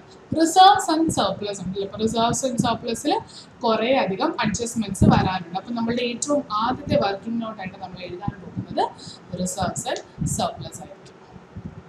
So ഏറ്റവും ആദ്യത്തെ നോട്ട്സ് ടു അക്കൗണ്ട്സ് നമ്മൾക്ക് റിസർവ്സ് ആൻഡ് സർപ്ലസ് ആണ്. Reserves and surplus general reserve ഉണ്ട് profit and loss account hello ലിമിറ്റഡിന്റെ റിസർവ്സും പി ആൻഡിലും കുഴപ്പമൊന്നുമില്ല. We can directly just take that പക്ഷേ സൺ ലിമിറ്റഡിന്റെ reserves and profit and loss account നമ്മൾക്ക് ഫുള്ളി അങ്ങനെ തന്നെ എടുക്കാൻ പറ്റില്ല. We can only take minority interest separate ചെയ്യണം. ഹോൾഡിംഗ് കമ്പനിയുടെ മാത്രമേ എടുക്കാൻ പാടുള്ളൂ. എന്തെങ്കിലും ബൈഫിക്കേഷൻ അല്ലെങ്കിൽ അഡീഷണൽ അഡ്ജസ്റ്റ്മെന്റ്സ് ഉണ്ടെങ്കിൽ അതെല്ലാം ചെയ്യണം അല്ലേ? അപ്പോൾ ഇതെല്ലാം നമ്മൾ കണ്ടുപിടിക്കാൻ പോകുന്നത് ത്രൂ വർക്കിംഗ് നോട്ടാണ് ആൻഡ് ദോ നമ്മൾ നോട്ട്സ് ടു അക്കൗണ്ട്സിന് ആവശ്യമായിട്ടുള്ള സ്പേസ് കൊടുക്കുക. അതായത് ഇൻവെൻട്രി അഡീഷൻ കാണിക്കേണ്ടി വരും ട്രേഡ് റിസീവബിൾസിന്റെ അഡീഷൻ കാണിക്കേണ്ടി വരും ക്യാഷ് ഇൻ ബാങ്ക് അതെല്ലാം കാണിക്കാനുള്ള ആപ്റ്റ് സ്പേസ് വിട്ടിട്ട് സ്റ്റാർട്ട് വർക്കിംഗ് നോട്ട്സ് സോ ഈ വർക്കിംഗ് നോട്ട്സിലായിരിക്കും നമ്മൾക്ക് അഡീഷണലി ഈ ബാലൻസ് ഷീറ്റിൽ ഡയറക്റ്റ്ലി ഒരു ലൈൻ ഐറ്റം ആയിട്ട് വരാതെ നമ്മൾക്ക് എന്തെങ്കിലും അഡ്ജസ്റ്റ്മെന്റ് ആയിട്ട് ഇടയ്ക്ക് കാണിക്കാനുണ്ടെങ്കിൽ അതിന്റെ എല്ലാം വർക്കിങ്സ് കാണിക്കുന്നത് so first one working note number one let us read the question once again. We have general reserve and profit and loss account opening balance തന്നിട്ടുണ്ട് മെഷീനറിയുടെ റീവാലുവേഷനെ കുറിച്ച് പറഞ്ഞിട്ടുണ്ട്. അപ്പം നമ്മൾക്ക് റീവാലുവേഷൻ പ്രോഫിറ്റ് ഓർ ലോസ് വരുന്നുണ്ട് രണ്ടാമത്തെ sentence so that becomes one of the working notes അല്ലേ? So therefore let's record revaluation of assets. Revaluation of assets and its related depreciation. നമ്മൾക്ക് തന്നിരിക്കുന്ന ബാലൻസ് ഷീറ്റ് മുപ്പത്തൊന്ന് മാർച്ച് രണ്ടായിരത്തി പതിനേഴിന്റെയാണ് അതായത് ഒരു വർഷം ഫുള്ള് കഴിഞ്ഞു അക്വിസിഷൻ കഴിഞ്ഞ് ഒരു വർഷം കഴിഞ്ഞത്തെയാണ് തന്നിരിക്കുന്നത്. പക്ഷെ എന്നാൽ പോലും അതിൽ അഡ്ജസ്റ്റ് ചെയ്യാതെ വിട്ടിരുന്ന കുറേ പോയിന്റ്സ് ആണ് അല്ലെങ്കിൽ അതിൽ അഡ്ജസ്റ്റ് ഇനി നമ്മൾ ചെയ്യേണ്ട കുറേ പോയിന്റ്സ് ആണ് താഴെ തന്നിരിക്കുന്നത്. സോ ഇവിടെ മെഷീനറി ഫേർണിച്ചറും റീവാല്യൂ ചെയ്തു എന്നാണ് പറയുന്നത് on one four twenty sixteen പക്ഷെ അതിന്റെ എഫക്റ്റ് ഇങ്ങോട്ടേക്ക് എടുത്തുകൊണ്ട് പോയിട്ടുണ്ടായിരുന്നെങ്കിൽ വീണ്ടും അത് തരേണ്ട ആവശ്യമുണ്ടോ? ഇല്ല. So why have they given us ആ റീവാലുവേഷൻ പ്രോഫിറ്റ്സ് നമ്മൾ കണക്കിലെടുക്കണം. അതോടൊപ്പം റേറ്റ്സ് ഓഫ് ഡിപ്രീസിയേഷനും തന്നിട്ടുണ്ട്. അപ്പോൾ why will rates of depreciation also be given if റീവാലുവേഷന്റെ effect ഈ ബാലൻസ് ഷീറ്റിൽ വന്നിട്ടില്ലെങ്കിൽ റീവാലുവേഷൻ വഴി ഡിപ്രിസിയേഷനിൽ വരുന്ന റിസൾട്ടൻ എഫക്ട് എഫക്ട്സ് ഇവിടെ വന്നിട്ടുണ്ടാകുമോ ഇല്ല അപ്പോൾ അതെല്ലാം നമ്മൾ കണക്കിലെടുത്ത് വേണം റെക്കോർഡ് ചെയ്യാൻ. സോ മെഷീനറിയുടെ ബുക്ക് വാല്യൂ ടു ലാക്ക് ആയിരുന്നു അക്വസിഷന്റെ ഡേറ്റിൽ നമ്മൾക്ക് തന്നിരിക്കുന്ന ബാലൻസ് ഷീറ്റ് എന്താണ്? അക്വയർ ചെയ്ത് കഴിഞ്ഞ് ഒരു വർഷത്തിന് ശേഷമുള്ളതാണ്. ഒരു വർഷത്തിന് ശേഷം വൺ ലാക്ക് എയ്റ്റി തൗസൻഡ് എന്നാണ് കിടക്കുന്നത്. പക്ഷേ അക്വയർ ചെയ്തപ്പോൾ എത്രയായിരുന്നു? ടു ലാക്ക് ആയിരുന്നു ബുക്ക് വാല്യൂ എത്രയാണ് ഡിപ്രിസിയേഷന്റെ ഡിപ്രിസിയേഷൻ പെർസെന്റേജ് തന്നിരിക്കുന്നത്? Ten percentage so two lakh into ten percentage twenty thousand depreciation അതിൽ നിന്ന് കുറച്ചാണ് ഈ വൺ ലാക്ക് എയ്റ്റി എത്തിയത് പക്ഷെ നമ്മളോട് എന്താണ് പറഞ്ഞിരിക്കുന്നത് സെക്കൻഡ് പോയിന്റിൽ machinery was revalued at three lakh respect on one four two thousand sixteen അതായത് ഒന്ന് നാലിന് തന്നെ രണ്ട് ലക്ഷം എന്നുള്ളത് മൂന്ന് ലക്ഷം ആക്കി മാറ്റണമായിരുന്നു. ഒരു മൂന്ന് ലക്ഷം ആയിരുന്നു ഓപ്പണിംഗ് ഡേറ്റ് തൊട്ടെങ്കിൽ ഡിപ്രിസിയേഷൻ ത്രീ ലാക്കിന്റെ ടെൻ പെർസെന്റേജ് എന്ന് പറയുമ്പോൾ തേർട്ടി തൗസൻഡ് പക്ഷെ എത്രയും നമ്മൾ എടുത്തിട്ടുള്ളൂ? ട്വന്റി തൗസൻഡ് അപ്പോൾ റീവാലുവേഷനും അതിനോട് റിസൾട്ടന്റ് ആയിട്ടുള്ള ഡിപ്രിസിയേഷനും നമ്മൾ കണക്കിലെടുക്കണം. So therefore machinery and furniture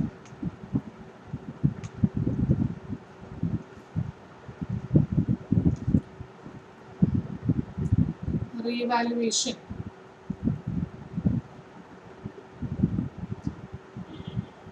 Upward അതായത് ബുക്ക് വാല്യൂ കുറയുകയും ചെയ്യാം കൂടുകയും ചെയ്യാം. മെഷീനറിയുടെ കേസിൽ ബുക്ക് വാല്യൂ കൂട്ടുകയാണ് ചെയ്യുന്നത്. രണ്ട് ലക്ഷത്തിൽ നിന്ന് മൂന്ന് ലക്ഷം ആകണമെന്ന് പറഞ്ഞു. സോ അപ്വേർഡ് റീവാലുവേഷൻ ആണ് അല്ലേ? And what about furniture furniture book value നാൽപ്പതിനായിരം ആയിരുന്നു. അതിന്റെ ഡിപ്രീസിയേഷൻ പതിനഞ്ച് ശതമാനം എന്ന് പറയുമ്പോൾ six thousand so forty thousand minus six thousand thirty four thousand ആണ് ബാലൻസ് ഷീറ്റിൽ തന്നിരിക്കുന്നത്. പക്ഷേ അക്വസിഷന്റെ ഡേറ്റ് ഫോർട്ടി തൗസൻഡ് എന്നുള്ള ബുക്ക് വാല്യൂ തേർട്ടി തൗസൻഡ് ആയി കുറയണമായിരുന്നു. അപ്പോൾ നമ്മുടെ ഡിപ്രീസിയേഷനും അതനുസരിച്ച് മാറണം. എന്നത് ചെയ്തിട്ടില്ല അല്ലേ? സോ എത്രയാണ് ഡൗൺവേർഡ് റീവാലുവേഷൻ നടന്നിരിക്കുന്നത് ഫേർണിച്ചറിന് ടെൻ തൗസൻഡ് ബ്രാക്കറ്റിൽ അതിന്റെ കമ്പ്യൂട്ടേഷൻ എഴുതാം. Three lakh minus two lakh and here thirty thousand minus forty thousand is the resultant depreciation effect. Effect on depreciation of above revaluation.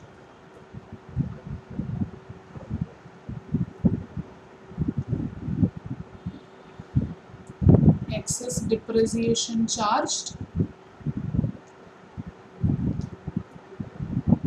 short depreciation അതായത് ചെയ്യേണ്ടിയിരുന്നതിനേക്കാളും കുറവാണ് charge ചെയ്തത്. Depreciation charge ചെയ്യേണ്ടിയിരുന്നതിനേക്കാളും കൂടുതൽ charge ചെയ്തു.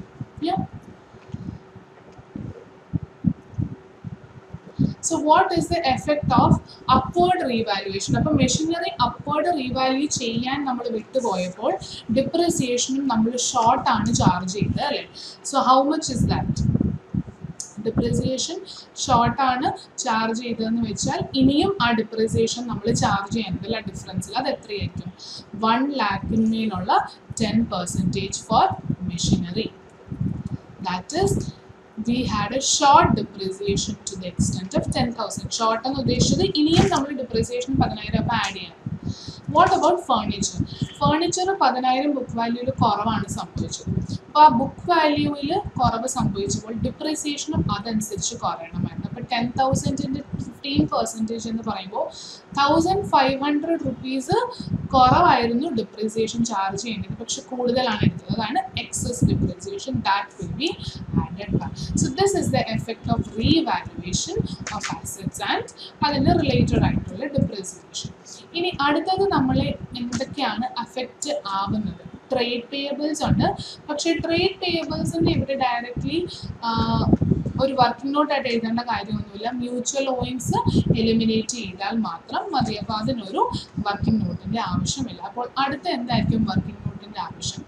Minority interest നമുക്കൊരു നോട്ടായിട്ട് തന്നെ എഴുതാം. So that is also note what about goodwill or capital അതായത് cost of control computation so cost of control computation നമ്മൾക്ക് പോകാം. അതിന് മുൻപ് കോസ്റ്റ് ഓഫ് കൺട്രോളിലേക്ക് പോകുന്നതിന് മുൻപ് കോസ്റ്റ് ഓഫ് കൺട്രോളിനുള്ളിൽ എന്തൊക്കെയാണ് വരുന്നതെന്ന് ആലോചിക്കുക. ഇൻവെസ്റ്റ്മെന്റ് കോസ്റ്റ് ഉണ്ട്. പിന്നെ അതിൽ എടുക്കുന്നത് എന്തൊക്കെയാണ്?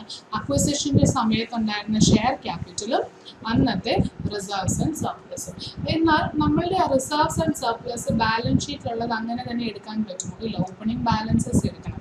ഓപ്പണിംഗ് ബാലൻസസ് എടുത്താൽ മാത്രം മതിയോ? അല്ല.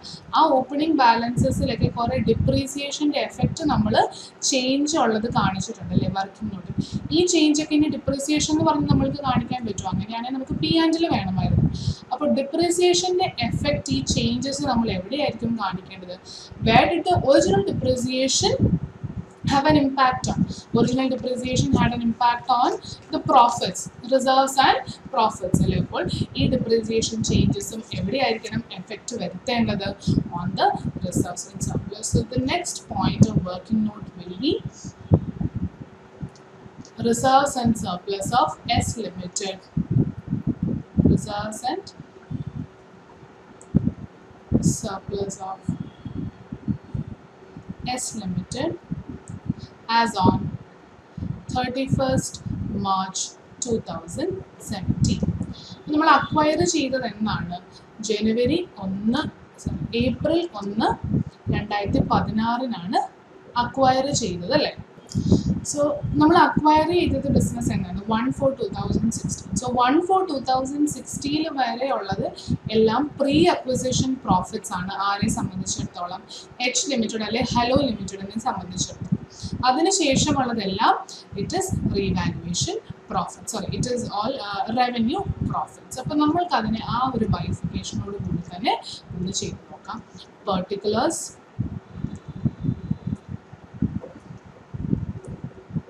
pre-acquisition profits.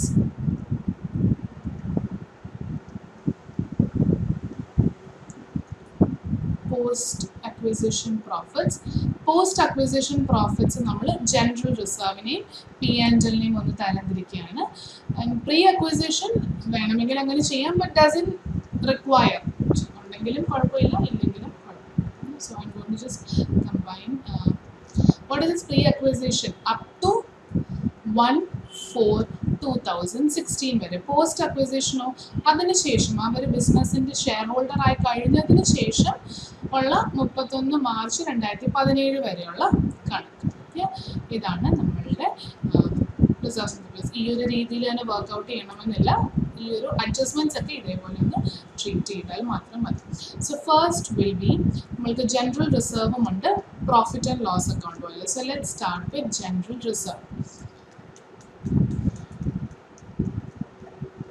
general റിസർവിന്റെ opening balance എത്രയാണ്? ഫിഫ്റ്റി തൗസൻഡ് ആണ്. ഓൺ അക്വിസിഷൻ ഡേറ്റ് എന്ന് പറയുന്നത്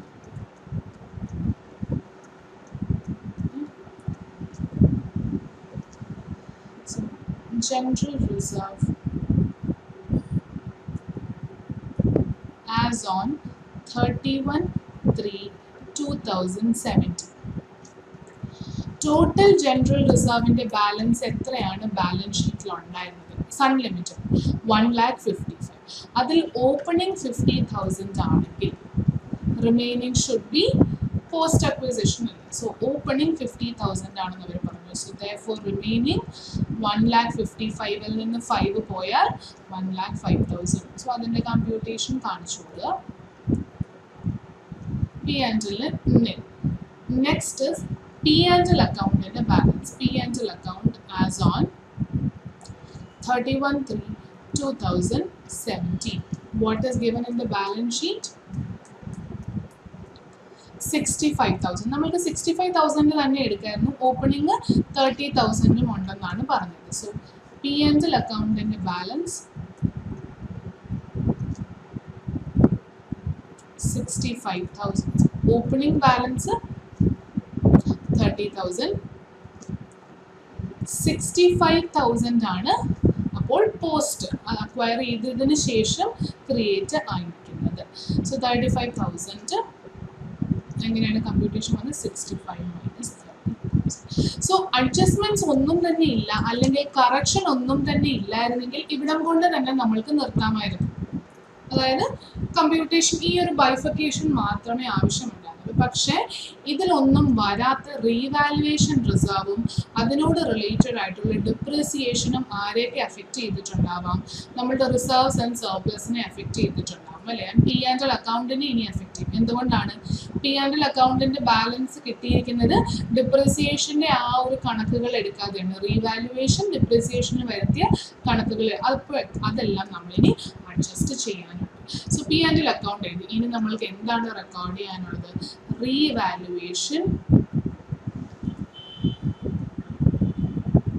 Reserve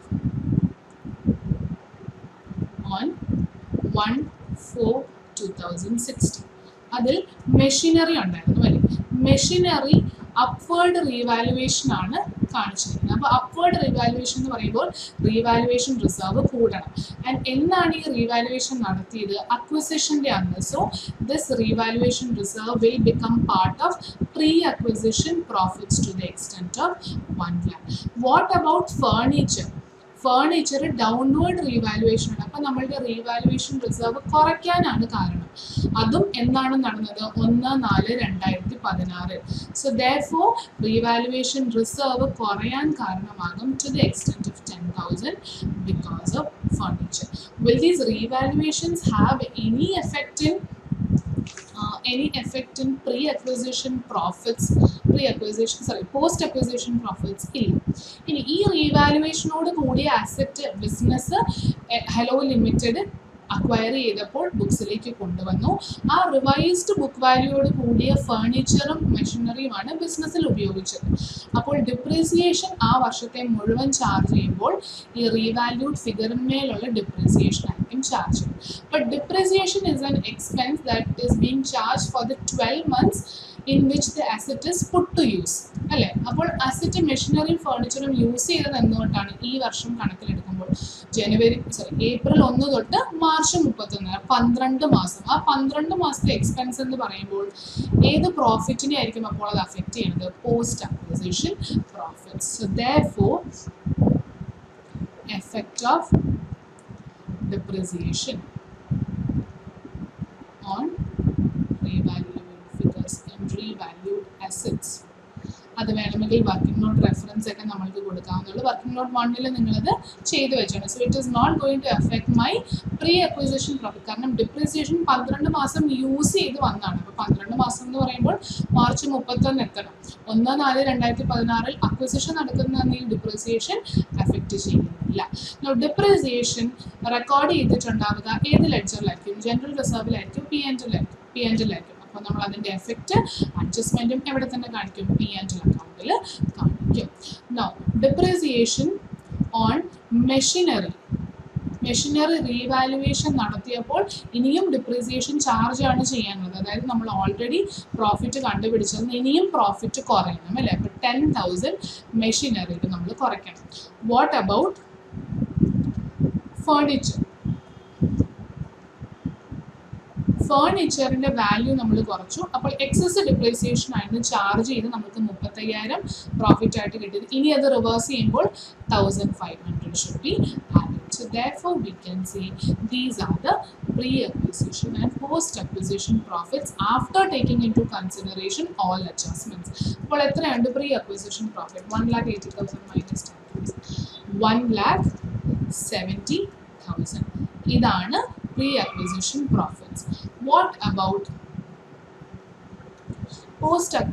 profits post acquisition profits general reserve one lakh five തൗസൻഡും P ആൻഡിൽ എത്രയുണ്ട്? Thirty five minus ten twenty five plus thousand five hundred twenty six five hundred so ഇതാണ് റിസർവ്സിന്മേലുള്ള adjustment ഇനി നമ്മൾക്ക് ഒരു വർക്കിംഗ് നോട്ടും കൂടെ ആവശ്യമായിട്ടുള്ളത് is with regard to computation of computation of what? Computation of cost of control. അതായത് goodwill or capital reserve എന്തെങ്കിലും നടന്നിട്ടുണ്ടോ എന്ന് നോക്കാം which date on the date of acquisition that is as on one four two thousand sixteen അപ്പോൾ ഏറ്റവും ആദ്യം നമ്മൾ compare ചെയ്തത് എന്തുമായിട്ടായിരിക്കും? Investment in shares of Sun limited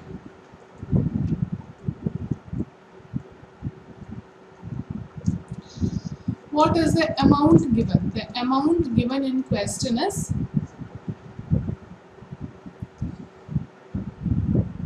three lakh twenty thousand ആണ് പേ ചെയ്തത്. So three lakh twenty thousand depreciation sorry ഡിവിഡന്റിനെ കുറിച്ച് എന്തെങ്കിലും ഈ ക്വസ്റ്റ്യനിൽ പറയുന്നുണ്ടോ? ഡിവിഡന്റിനെ കുറിച്ച് ഒന്നും ഈ ക്വസ്റ്റ്യനിൽ പറയുന്നില്ല.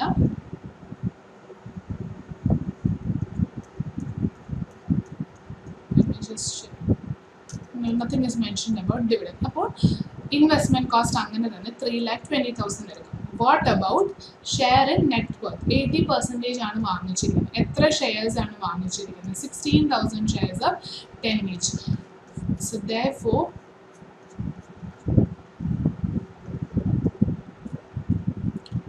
three lakh twenty thousand തന്നെ കോസ്റ്റ് ആയിട്ടും പ്രീ അക്വസിഷൻ ഡിവിഡന്റ് ഒന്നും കുറയ്ക്കാനില്ല.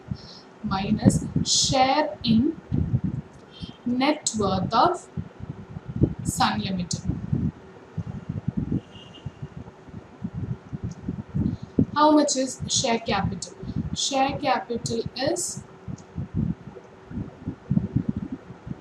2 lakh, isn't it? 2 lakh on share capital. And what about pre-acquisition profits? Pre-acquisition profits already adjustment കൂടി നമ്മൾ വർക്കിംഗ് നോട്ട് ടൂയിൽ കണ്ടുപിടിച്ച് വെച്ചിട്ടുണ്ട് പ്രീ അക്വിസിഷൻ പ്രോഫിറ്റ്സ് പിന്നീടുള്ള പോസ്റ്റ് അക്വിസിഷൻ പ്രോഫിറ്റ്സ് ഒക്കെ നമ്മൾ റിസർവ്സ് ആൻഡ് സർപ്ലസ് ബാലൻസ് ഷീറ്റിൽ കാണിക്കാനുണ്ട് ഈ പ്രീ അക്വിസിഷൻ പ്രോഫിറ്റ് മാത്രം കോസ്റ്റ് ഓഫ് കൺട്രോളിലേക്ക് പോകേണ്ടതാണ് taken to goodwill or capital reserve computation. ഇതാണ് total pre acquisition profit of Sun limited including general reserve and revaluation reserve P and എല്ലാം കൂടെ ചേർത്തിട്ടുള്ളതാണ് അതിനൊറ്റൊരു പേരായിട്ട് കൊടുത്തതേ ഉള്ളൂ. So reserves and surplus one lakh seventy thousand so we can see three lakh seventy thousand ആണ് total net അതിന്റെ eighty percentage എന്ന് പറയുമ്പോൾ two lakh ninety six thousand rupees ആണ് share and net worth of Sun limited so we have paid in excess which means we have a goodwill payment of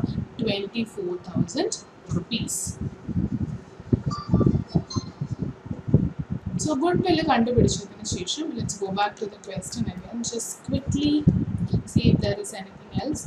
ഇൻവെൻട്രീനെ കുറിച്ച് ഇവിടെ പറയുന്നുണ്ട്. Hello limited includes goods costing fifty five thousand purchased from Sun limited അതായത് H limited Sun limited upstream സെയിലുണ്ട് purchased from sun limited എന്നാണ്. അപ്പോൾ upstream സെയിലുണ്ട് upstream സെയിലിൽ ഒരു profit element കിടപ്പുണ്ട്. അത് ഇൻവെന്ററിക്ക് അകത്തുണ്ടെന്നാണ് പറഞ്ഞത് അല്ലേ? അപ്പോൾ ഫിഫ്റ്റി ഫൈവ് തൗസൻഡ് ആണ് ഗുഡ്സ് നമ്മൾക്ക് തന്നിരിക്കുന്നത്. Goods costing and that is the inventories of Hello Limited അതായത് പർച്ചേസ് ചെയ്ത ഹലോ ലിമിറ്റഡിന്റെ പോയിന്റ് ഓഫ് വ്യൂവിൽ നിന്ന് it's goods costing fifty five thousand but it is purchase from Son Limited at ten percentage above cost അതായത് ഒരു പ്രോഫിറ്റോട് കൂടിയാണ് ഇട്ടിരിക്കുന്നത് ten percentage above cost എന്ന് പറയുമ്പോൾ let assume cost to be hundred so can we not find out the profit included in this inventory so അത് നമ്മൾക്കൊരു working നോട്ടായിട്ടൊന്ന് കണ്ടുപിടിക്കാം. Working note number three unrealized profit working on number 4, unrealized profit on inventory.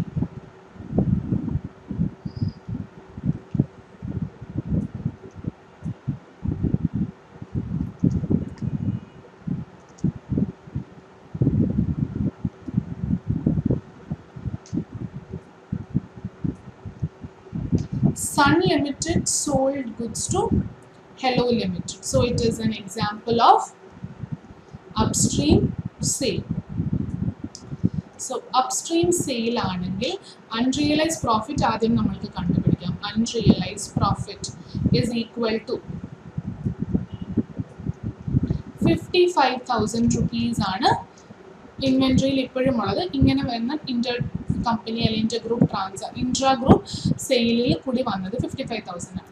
അതിൽ profit പറയുന്നത് ten percentage above cost ആണ്. So for we can assume cost to be hundred and if cost is hundred selling price would be one ten പത്ത് രൂപ ലാഭം കിട്ടുന്നുണ്ട് so ഈ five fifty five thousand is the selling price of Son Limited അപ്പോൾ അതിനെയും one ടെന്നിനെയും കൂടെ നമ്മൾ കമ്പയർ ചെയ്യുകയാണ്. So we can say fifty five thousand into ten divided by one ten എന്ന് പറയുമ്പോൾ എത്രയാണ് profit five thousand rupees but it is an upstream sale അല്ലെ? അപ്സ്ട്രീം സെയിൽ ആകുമ്പോൾ വൺ ഫൈവ് തൗസൻഡ് എന്ന് പറയുന്ന പ്രോഫിറ്റ് ആരുടെ ബുക്സിലാണുള്ളത് in the books of Sun Limited, which is the subsidiary company. Subsidiary കമ്പനിയുടെ ബുക്സിലുള്ള ലാഭം ആരിലേക്കൊക്കെ ഡിവൈഡ് ആയി പോകും? ഹോൾഡിംഗ് കമ്പനിയായ ഹലോ ലിമിറ്റഡിലേക്കും മൈനോറിറ്റി ഇൻട്രസ്റ്റിലേക്കും അപ്പോൾ ആ ഒരു ബൈഫിക്കേഷൻ കൂടെ നമ്മൾക്കൊന്ന് കണ്ടുപിടിച്ച് വെക്കും. സോ മൈനോറിറ്റി ഇൻട്രസ്റ്റ് എത്രയാണ്? ഹലോ ലിമിറ്റഡിന്റെ investment eighty percentage so minority interest ബാക്കി twenty percentage so how much will be Hello ലിമിറ്റഡിന്റെ unrealise profit that will be four thousand and minority interest will be thousand so നമ്മളുടെ working നോട്ടൊക്കെ ഏകദേശം കഴിഞ്ഞു. ഇനി നമ്മൾക്ക് നോട്ട്സ് ടു അക്കൗണ്ട്സ് പ്രിപ്പയർ ചെയ്ത് തുടങ്ങാം. ആവശ്യമുള്ളപ്പോൾ നമുക്ക് വേണമെങ്കിൽ ഇനി വർക്കിംഗ് നോട്ട്സ് ആഡ് ചെയ്യാവുന്നതാണ്. സോ റിസർവ്സ് ആൻഡ് സർപ്ലസിൽ ഏറ്റവും ആദ്യം നമ്മൾ കണക്കിലെടുക്കേണ്ടത് ജനറൽ റിസർവ് ആണ്. So general reserve Hello Limited അല്ലെങ്കിൽ ഹോൾഡിംഗ് കമ്പനിയുടെ അങ്ങനെ തന്നെ നമ്മൾ എടുക്കും. സൺ ലിമിറ്റഡിന്റെ ജനറൽ റിസർവ് എടുക്കുമ്പോഴാണ് നമ്മൾ അഡ്ജസ്റ്റ്മെന്റിനെ കുറിച്ചൊക്കെ ആലോചിക്കുന്നത്. So four lakh thirty five thousand എന്തായാലും വരും. So first one is general reserve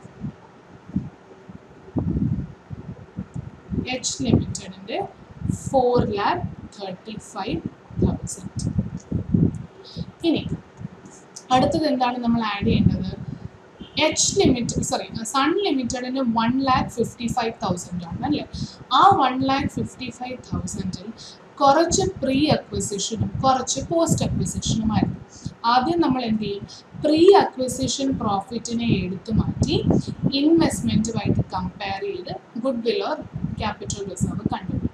അപ്പോൾ ഈ വൺ ലാക്ക് ഫിഫ്റ്റി ഫൈവ് തൗസൻഡിൽ നിന്ന് ആദ്യമേ എന്ത് എലിമിനേറ്റ് ചെയ്യും? അല്ലെങ്കിൽ എന്തിനെ കുറിച്ച് നിങ്ങൾ വറി ചെയ്യേണ്ട കാര്യമില്ല? ഗുഡ് വിൽ ഓർ ക്യാപിറ്റൽ റിസർവിന്റെ വർക്കിംഗ് നോട്ട് കഴിഞ്ഞാൽ അത്രയും portion of pre acquisition profit ചിന്തിക്കേണ്ട കാര്യമില്ല. So one lakh fifty five തൗസൻഡിൽ pre acquisition profit ആയിട്ട് ജനറൽ റിസർവിൽ നമ്മൾ എഴുതിയ ഫിഫ്റ്റി തൗസൻഡിനെ കുറിച്ച് ഇനി നമ്മൾ ബോധർ ചെയ്യേണ്ട കാര്യമില്ല. അതായത് നമ്മൾക്ക് വേണമെങ്കിൽ പറയാം ആ ക്വസ്റ്റ്യൻ ഇനി എസ് ലിമിറ്റഡ് അല്ലെങ്കിൽ സൺ ലിമിറ്റഡിന്റെ ജനറൽ റിസർവും പി ആൻഡ് എൽ അക്കൗണ്ടും നോക്കാൻ ബാലൻസ് ഷീറ്റിലേക്ക് പോകേണ്ട കാര്യമില്ല. എല്ലാ അഡ്ജസ്റ്റ്മെന്റും നമ്മൾ ഈ വർക്കിംഗ് നോട്ട് നമ്പർ ടൂവിൽ കാണിച്ചിട്ടുണ്ട്. പക്ഷേ you have to check the balance sheet to find out how much is the general reserve and P and L account balance of Hello Limited Son ലിമിറ്റഡിന്റെ അഡ്ജസ്റ്റ്മെന്റിനെ കുറിച്ചാണ് ഞാനിവിടെ പറയുന്നത്. So general reserve fifty thousand നമ്മൾ ഇനി കണക്കിലെടുക്കണം.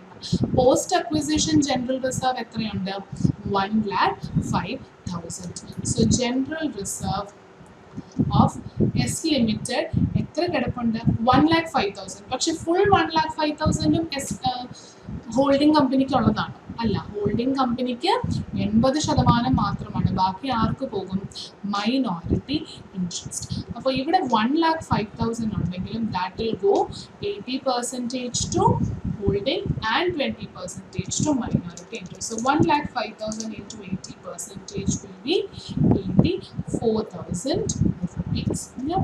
So വേണമെങ്കിൽ ഇവിടെ ആ ബൈഫിക്കേഷൻ നമ്മൾക്കൊന്ന് കാണിക്കാം ഈ 1 lakh 5,000 will go to holding company GR ന്റെ add addition add to holding company's GR account and balance അത് എത്രയാണ് eighty percentage twenty percentage add to minority interest same way twenty six five ഹൺഡ്രഡിനും നമ്മൾ അങ്ങനെ തന്നെയാണ് ട്രീറ്റ് ചെയ്യുന്നത് eighty percentage add to Hello Limited's P and L account twenty percentage add to minority interest one lakh seventy thousand pre അക്വസിഷനെ കുറിച്ച് പറയേണ്ട കാരണം അത് നമ്മൾ good വില്ല് കണ്ടുപിടിക്കാൻ എഴുതി. അപ്പോൾ നമ്മളത് ഇഗ്നോർ ചെയ്ത്. ഫൈനലി ഗുഡ് വില്ല് മാത്രം എഴുതുന്നത് ഇതിനെ എല്ലാം കണക്കിലെടുത്തു എന്നുള്ളതിന്റെ അർത്ഥം തന്നെയാണ്. സോ വൺ ലാക്ക് ഫൈവ് തൗസൻഡിന്റെ എയ്റ്റി പെർസെന്റേജ് നമ്മൾ റിസർവ്സ് ആൻഡ് സർപ്ലസിലേക്ക് എഴുതി ട്വന്റി പെർസെന്റേജ് എഴുതാൻ കിടപ്പുണ്ട്. ഒരിക്കലും മറന്നു കളയരുത്. അതിന് മൈനോറിറ്റി ഇൻട്രസ്റ്റിൽ നമ്മൾക്ക് എഴുതാം. അപ്പോൾ ജനറൽ റിസർവ് കഴിഞ്ഞു. ഇനി നമ്മൾക്ക് എന്താണുള്ളത്? പി എൻ എൽ അക്കൗണ്ട് അപ്പോൾ ഹെലോ ലിമിറ്റഡിന്റെ നമ്മൾ ബാലൻസ് ഷീറ്റിൽ തന്നെ പോയി നോക്കണം. എത്രയുണ്ട്? ക്വസ്റ്റനിൽ തന്നിരിക്കുന്നത് എത്രയുണ്ട് ഹെലോ ലിമിറ്റഡിന്റെ two lakh eighty thousand that will be same two lakh eighty thousand but what about Son Limited Son ലിമിറ്റഡിന് സിക്സ്റ്റി ഫൈവ് തൗസൻഡ് ആയിരുന്നു. അതിൽ പ്രീ അക്വസേഷൻ നമ്മൾ ഓൾറെഡി അഡ്ജസ്റ്റ് ചെയ്തു. So forget about it remaining thirty five thousand തന്നെ നമ്മൾ എടുത്തേനെ. Adjustments ഒന്നും ഇല്ലായിരുന്നെങ്കിൽ പക്ഷേ ഡിപ്രീസിയേഷന്റെ കുറച്ച് അഡ്ജസ്റ്റ്മെന്റോട് കൂടി നമ്മൾ റിവൈസ്ഡ് പ്രോഫിറ്റ് ആൻഡ് ലോസ് എത്രയാണെന്നാണ് കാണിച്ചത്? ട്വന്റി സിക്സ് ഫൈവ് അപ്പോൾ അതിന്റെ എയ്റ്റി പെർസെന്റേജ് ആയിരിക്കണം എങ്ങോട്ടേക്ക് പോകേണ്ടത്. പി ആൻഡ് അക്കൗണ്ടിലേക്ക് പോകുന്നത് so twenty six five hundred into percentage നിങ്ങൾക്ക് ഇവിടെ എല്ലാം വേണമെങ്കിൽ റെഫറൻസ് കൊടുക്കാം. Working note number two working note number two so നിങ്ങൾക്ക് തന്നെ ഒന്ന് പോയി റെഫർ ചെയ്യാം. എവിടെ നിന്നാണ് ഈ എമൗണ്ട് ഒക്കെ പിക്ക് ചെയ്തിരിക്കുന്നത്? So six five hundred into eighty percentage will be twenty one two hundred അപ്പോൾ പി ആൻഡിൽ നമ്മൾ അതും കാണിച്ചു ഇനി പി ആൻഡിലിനെ അഫക്റ്റ് ചെയ്യുന്നത് ഇത്ര മാത്രമാണോ? നമ്മൾ ആ വർക്കിംഗ് നോട്ടിൽ എടുക്കാതെ നാലാമത് ഒരു വർക്കിംഗ് നോട്ട് കാണിച്ചിട്ടുണ്ടല്ലോ. വാട്ട് ഈസ് ദ നാലാമത്തെ working note unrealise profit on invention അത് ഡൗൺ സ്ട്രീം ആണെങ്കിൽ സോറി അപ് സ്ട്രീം ആണെങ്കിൽ രണ്ട് എഫക്റ്റ് ആണുള്ളത്. ഒന്ന് മൈനോറിറ്റിയിലേക്കും ഒന്ന് ഹലോ ലിമിറ്റഡിലേക്കും അപ്പോൾ അത് നമ്മൾ ഓൾറെഡി കണ്ടുപിടിച്ച് വെച്ചിട്ടുണ്ട്. നാലായിരം നമ്മൾ സബ്സിഡിയറി കമ്പനിയുടെ ലാഭത്തിൽ നിന്ന് കുറയ്ക്കണമെന്ന്. സബ്സിഡിയറി കമ്പനിയുടെ ആ ലാഭം നമ്മളിപ്പോൾ കണക്കിലെടുക്കാതെ അല്ലെങ്കിൽ ആ നാലായിരം എലിമിനേറ്റ് ചെയ്യാതെയാണ് ട്വന്റി സിക്സ് ഫൈവ് ഹൺഡ്രഡ് കിട്ടിയത് അല്ലേ? അപ്പോൾ നമുക്ക് ഇനി എന്ത് ചെയ്യണം? ആ അൺറിയലൈസ് പ്രോഫിറ്റിനെയും കൂടെ ഒന്ന് എലിമിനേറ്റ് ചെയ്യണം. Unrealise profit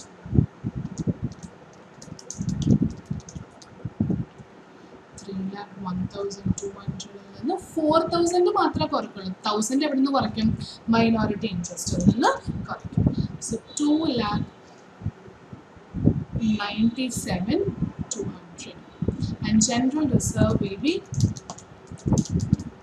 five lakh nineteen thousand so ഇത് രണ്ടും കൂടി ചെയ്യുന്നതാണ് reserves and surplus which is eight lakh sixteen thousand two hundred ഇപ്പോൾ ഇത് കിട്ടിയ ഉടനെ തന്നെ നമ്മൾക്ക് ബാലൻസ് ഷീറ്റിൽ പോയി റിസർവ്സ് സർപ്ലസ് uh, എഴുതാം. Eight lakh sixteen thousand two hundred note നമ്പറും കൊടുത്തേക്കുക.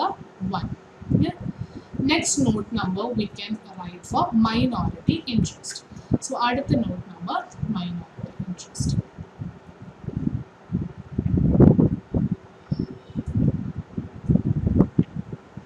so minority ഇൻട്രസ്റ്റിൽ എന്തൊക്കെയാണ് വരാൻ പോകുന്നത്? Twenty percentage share in capital how much was that two ലാക്കിന്റെ twenty percentage eighty percentage already നമ്മൾ എലിമിനേറ്റ് ചെയ്തു. നോട്ട് നമ്പർ ത്രീയിൽ goodwill or capital reserve കണ്ടുപിടിക്കും. That is forty thousand twenty percentage share in capital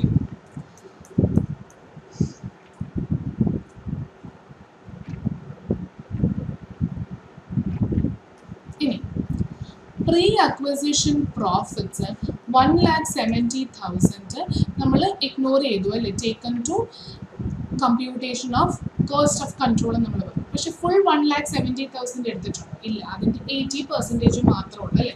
അപ്പോൾ ബാക്കി twenty percentage എവിടെയെങ്കിലും കാണിക്കട്ടെ?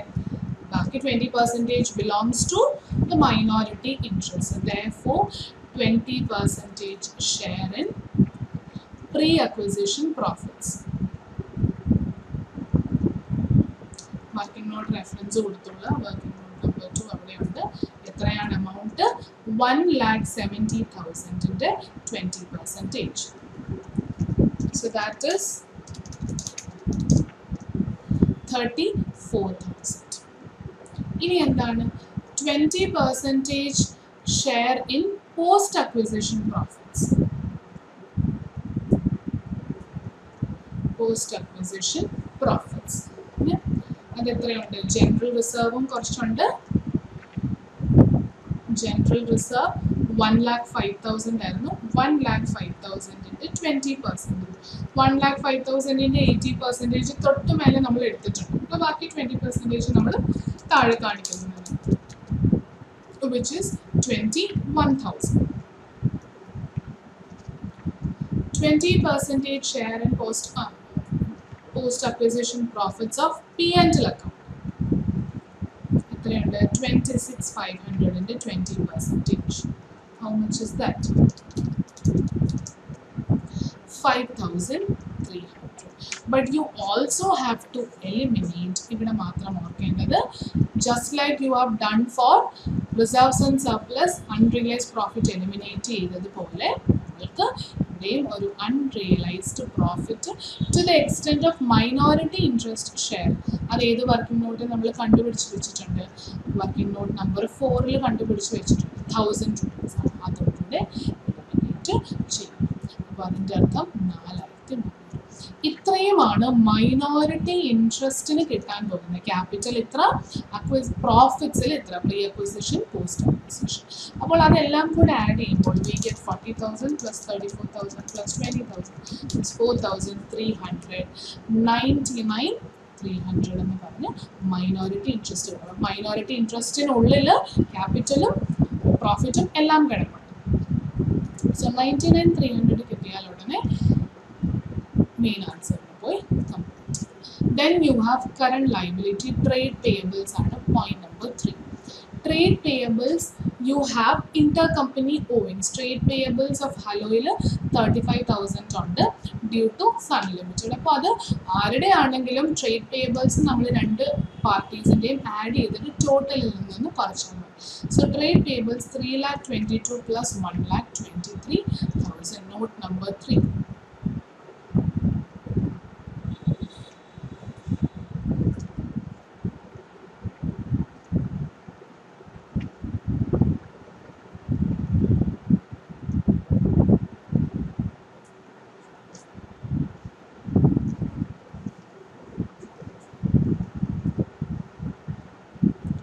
mutual owings 35,000.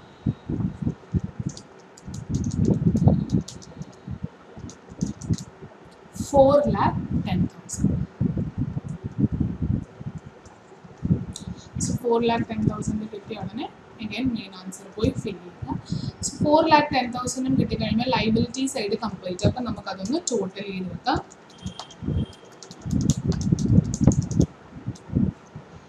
twenty five lakh twenty five thousand five hundred ആണ് liability total ഇനി നമ്മൾക്ക് എന്താണ്? ടാഞ്ചിബിൾ അസറ്റ്സ് നമ്മളൊന്ന് പ്രസന്റ് ചെയ്യണം. അപ്പോൾ ടാഞ്ചിബിൾ അസറ്റ്സ് നമ്മൾക്ക് എമൗണ്ട് ഒക്കെ ഉണ്ടെങ്കിലും ആ റീവാലുവേഷന്റെയും ഡിപ്രിസിയേഷന്റെ ഒക്കെ എഫക്റ്റ് ഒക്കെ കാണിച്ചുകൊണ്ടുള്ളൊരു അഡ്ജസ്റ്റ്മെന്റ് ചെയ്യണം. So for that note number four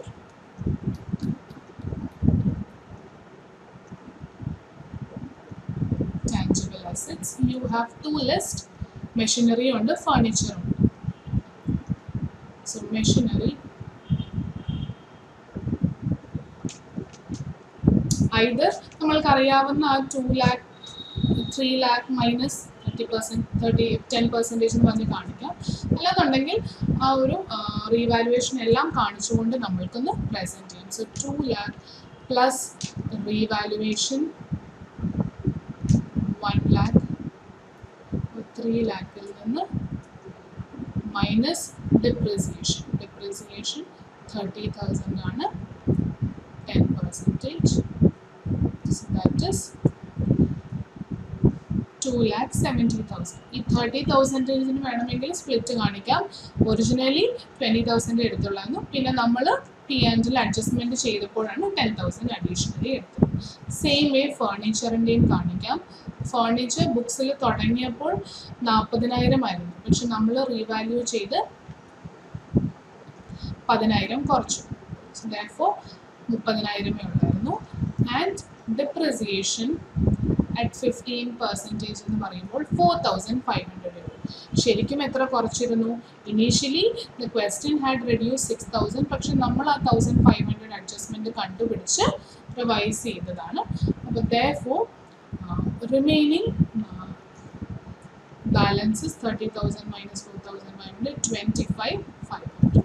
So both this put together, 2,70,000 plus 25,500, 2,95,500 ആണ് tangible അസറ്റ്സിൻ്റെ total so tangible അസറ്റ്സിൻ്റെ amount കിട്ടിക്കഴിഞ്ഞാൽ two lakh ninety five five hundred Tangible അസറ്റ്സിന് ശേഷം നോൺ കറണ്ട് അസറ്റ്സിൽ ഇൻടാഞ്ചിബിൾ അസറ്റ്സ് ആണ് കാണുന്നത് ഇനി എന്തെങ്കിലും ഇൻടാഞ്ചിബിൾ അസറ്റ്സ് ഈ ക്വസ്റ്റ്യനിൽ ഉണ്ടായിരുന്നോ?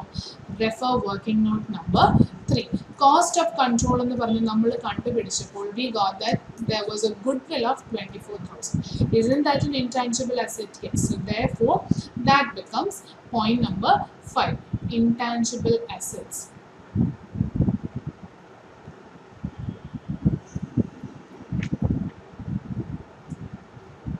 Goodwill working note number three amount എത്രയാണ് twenty four thousand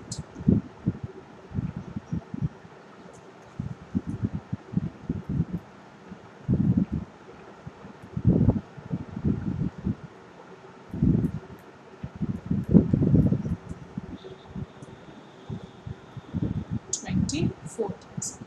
Then we have inventories that also require a note number. So point number six. Inventories. H Limited, Hello Limited and Sun Limited.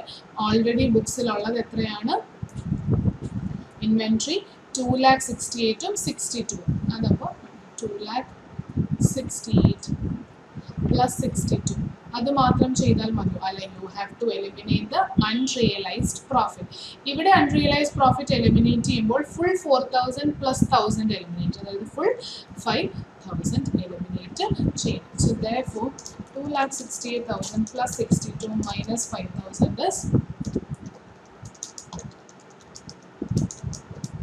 three lakh twenty five thousand rupees So 3 lakh 25,000 rupees inventory amount.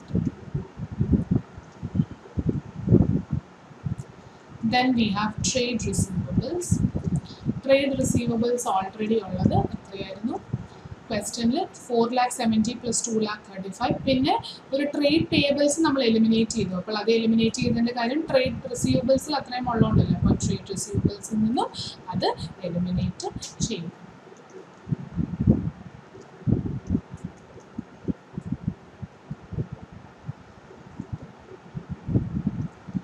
H Limited 4 lakh 70,000, S Limited 2 lakh 35,000 minus mutual owings 35,000. So 6 lakh 70,000 ആണ് trade receivables.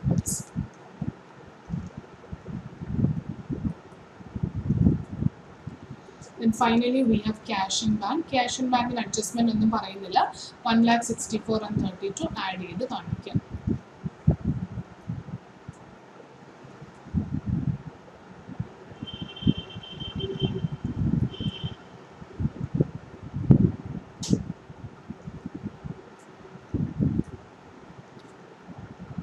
one lakh ninety six thousand rupees.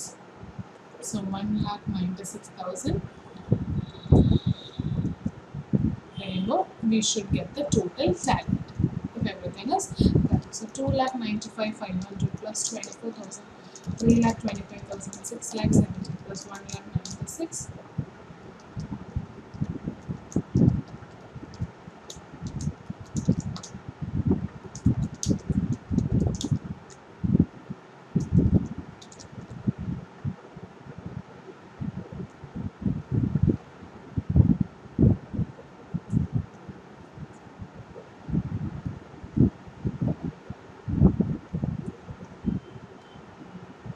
Okay, there was an error that I committed.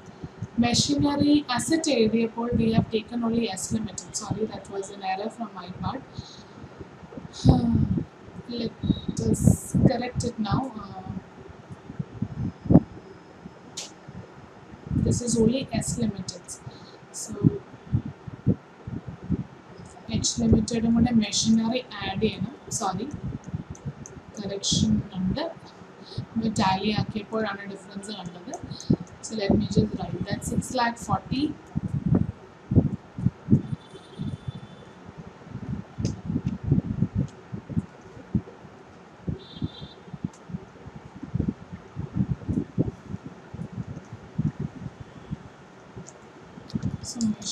total 9 lakh 10,000.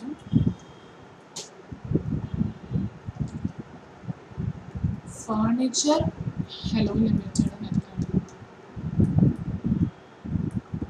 furniture 3 lakh 75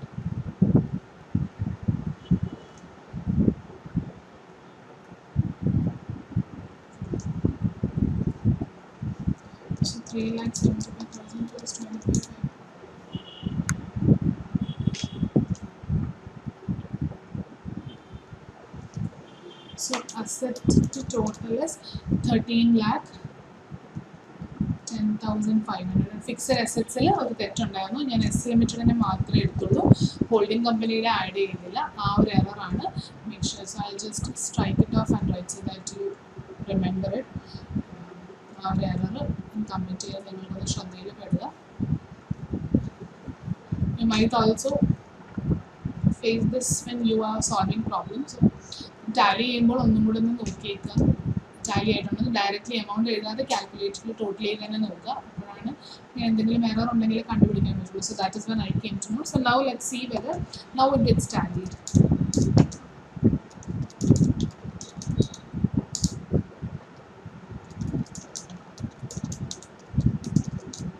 yes 25 lakh 25,500 ഇപ്പോൾ ടാലിയാണ് കിട്ടുന്നത് tangible അസറ്റ്സിന്റെ error മാത്രമാണ്. So ബാക്കിയെല്ലാം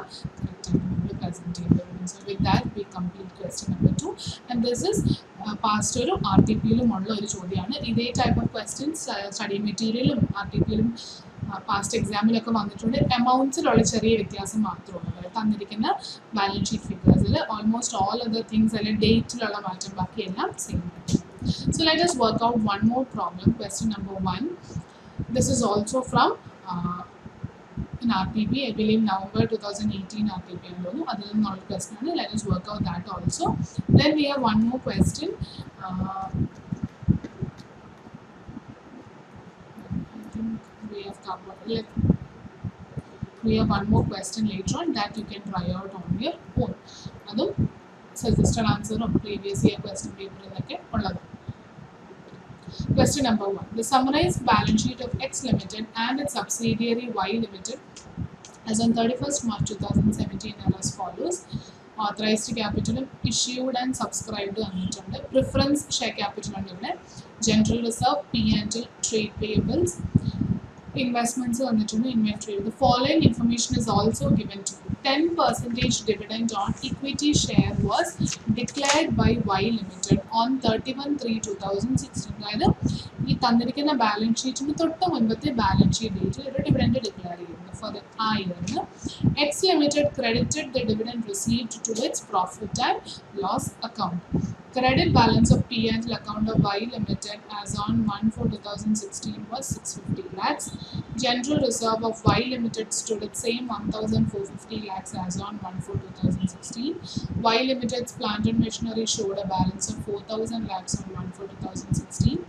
At the time of purchase of shares in Y Limited, X Limited revalued y limited balance machinery by upward by 1000 upward revaluation include in trade payables 50 lakhs on 31 3 2017 y limited's inventory included goods for 150 lakhs which it had purchased from x limited x limited sold goods to y limited at cost plus 25 percent you are required to prepare a consolidated balance sheet of x limited and its subsidiary y limited as on 31st march 2017 giving working goods ignore dependent on reference shares let us work out ഞാൻ ആ format just ഒന്ന് എഴുതിയിട്ടുണ്ട് consolidated balance ഷീറ്റിൻ്റെ നമുക്ക് notes to accounts എഴുതി തുടങ്ങാം. അതിന് മുൻപ് നമുക്ക് വർക്കിംഗ് നോട്ട് ഒന്ന് നോക്കാം. അപ്പോൾ നോട്ട്സ് ടു അക്കൗണ്ട്സ് എല്ലാം തന്നെ വരും. നമ്മൾക്ക് പ്രോഫിറ്റ് ആൻഡ് ലോസ് തൊട്ട് മുൻപ് ചെയ്ത ക്വസ്റ്റ്യൻ നമ്പർ ടു പോലെ തന്നെ we will have to find out pre acquisition profits എത്രയാണ് പോസ്റ്റ് അക്വസിഷൻ പ്രോഫിറ്റ്സ് എത്രയാണ് എന്നൊക്കെ നമ്മൾക്ക് കണ്ടുപിടിക്കാനുണ്ട് അല്ലേ? പിന്നെ റീവാലുവേഷൻ ഓഫ് മെഷീൻ ഉണ്ടോ? അതെല്ലാം നമ്മൾക്കൊന്ന് ഇതേപോലെ നോക്കാനുണ്ട്. So let start with that working note ഇവിടെ വൈ ലിമിറ്റഡ് പ്ലാന്റ് ആൻഡ് മെഷീനറിക്ക് ഇങ്ങനെ ഒരു റീവാലുവേഷനെ കുറിച്ച് പറയുന്നുണ്ട് അല്ലേ? സോ റീവാലുവേഷൻ വന്നു കഴിയുമ്പോൾ അപ്വേർഡ് റീവാലുവേഷൻ ആണ് ഇവിടെ പറയുന്നത്. ഓൾറെഡി ഓപ്പണിംഗ് ബാലൻസ് നാല് ലക്ഷമായിരുന്നു ഉണ്ടായിരുന്നത്. പക്ഷെ ബിസിനസ് ടേക്ക് ഓവർ ചെയ്തപ്പോൾ എക്സ് ലിമിറ്റഡ് ടേക്ക് ഓവർ ചെയ്തപ്പോൾ എന്നാണ് എക്സ് ലിമിറ്റഡ് ടേക്ക് ഓവർ ചെയ്യുന്നത്? On one four two thousand sixteen ആണ് ടേക്ക് ഓവർ ചെയ്യുന്നത്. അതായത് വർഷം തുടങ്ങിയപ്പോൾ തന്നെ.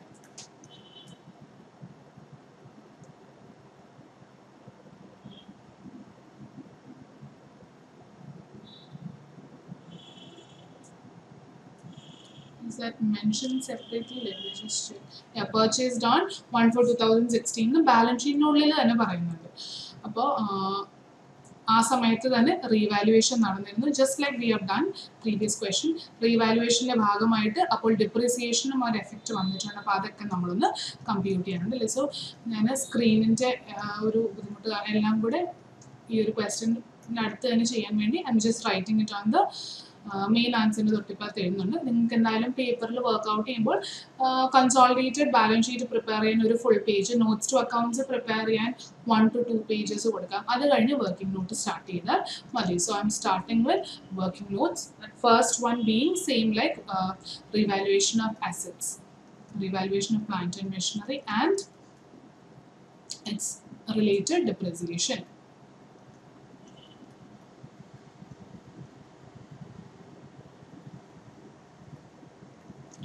So revaluation എത്രയാണ് പറഞ്ഞിരിക്കുന്നത്? ഫോർ തൗസൻഡ് അപ്വേർഡ് ബൈ അതായത് റീവാലുവേഷൻ അപ്വേർഡ് റീവാലുവേഷൻ എത്രയാണെന്ന് തന്നെ പറഞ്ഞിട്ടുണ്ട്.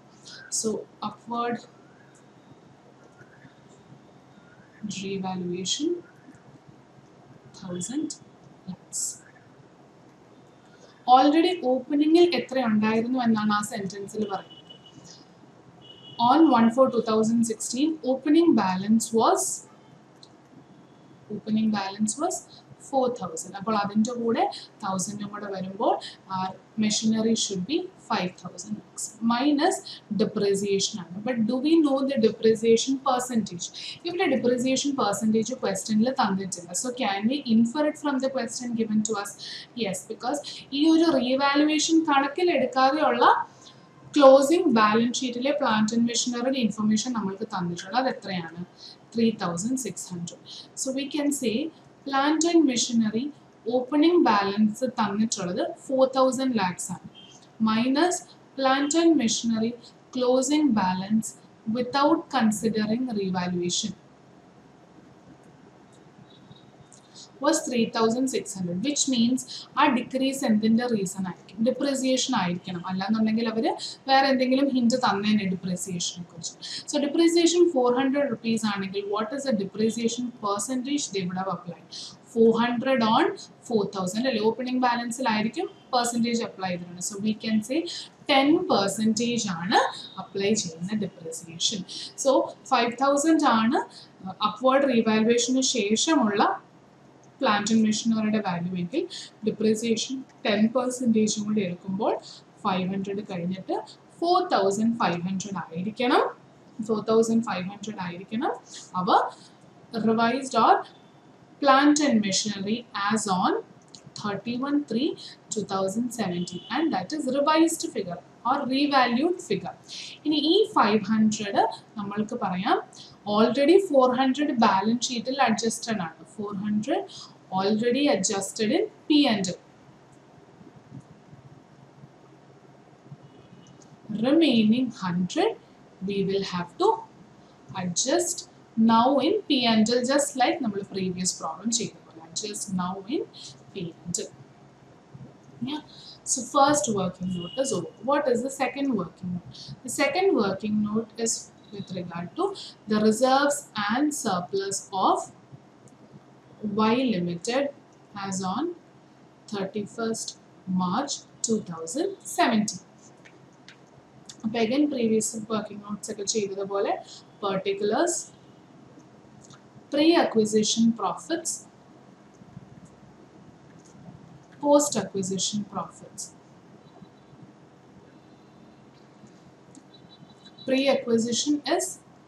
Two one four two thousand sixteen അന്നാണ് അക്വിസിഷൻ നടന്നത്. Post acquisition one four sixteen to 31 3 17 വരെ. And we have both general reserve and P and L. അപ്പോൾ അത് രണ്ടും ബൈഫക്കേറ്റ് ചെയ്ത് തന്നെ നമ്മൾക്കൊന്ന് എഴുതാം. കാരണം ഡിപ്രിസിയേഷൻ നമ്മൾ അഡ്ജസ്റ്റ് ചെയ്യാൻ പോകുന്നത് എപ്പോഴും പി ആൻഡ് എല്ലിലോട്ട് ആയിരിക്കും.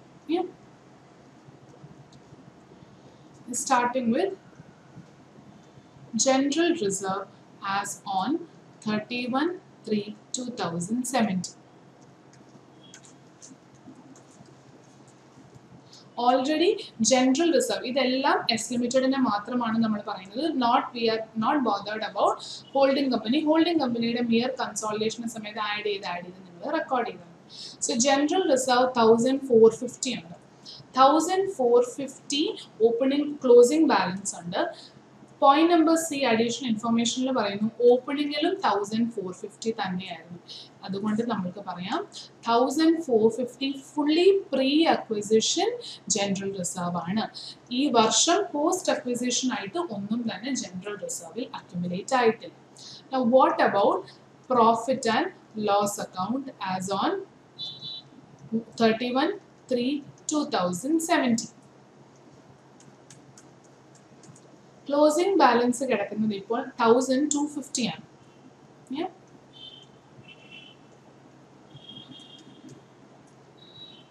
തൗസൻഡ് ടു ഫിഫ്റ്റി അപ്പൊ തൗസൻഡ് ടു ഫിഫ്റ്റിയിൽ ഓപ്പണിംഗ് എത്ര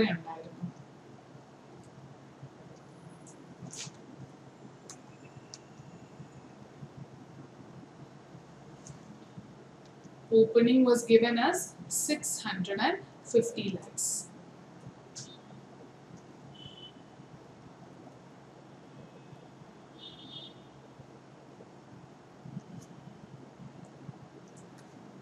Opening credit balance as on month for two thousand sixteen was 650 lakhs. So 650 lakhs opening balance angle that is pre-acquisition profit and remaining 600 is post-acquisition profits. 1250. Yeah. ഇനി നമ്മൾ അടുത്ത points നോക്കാനുള്ളത് റീവാലുവേഷന്റെ effect ആണ് അപ്പോൾ revaluation നടക്കുന്നത് acquisition ഡേറ്റിലാണ് അല്ലേ അപ്പോൾ ആ റീവാലുവേഷന്റെ profit എങ്ങോട്ടേക്ക് പോകും it will go to pre acquisition profits revaluation reserve on plant and machinery as on one four സിക്സ്റ്റീനിൽ നടന്ന എമൗണ്ട് എത്രയായിരുന്നു thousand lakhs thousand lakhs will go to pre-acquisition profits. What about the depreciation which was adjusted or excess ആയിട്ട് ഇനി നമ്മൾ create ചെയ്യുന്നത് due to this revaluation depreciation out of the revalued figures അത് current year നമ്മൾ use ചെയ്ത് വന്ന use ചെയ്ത് വന്ന ഡിപ്രിസിയേഷൻ ഉണ്ട് അപ്പോൾ ഇത് കറണ്ട് ഇയർ പ്രോഫിറ്റിൽ നിന്നാണ് അഡ്ജസ്റ്റ് ചെയ്യേണ്ടത് അല്ലേ? So though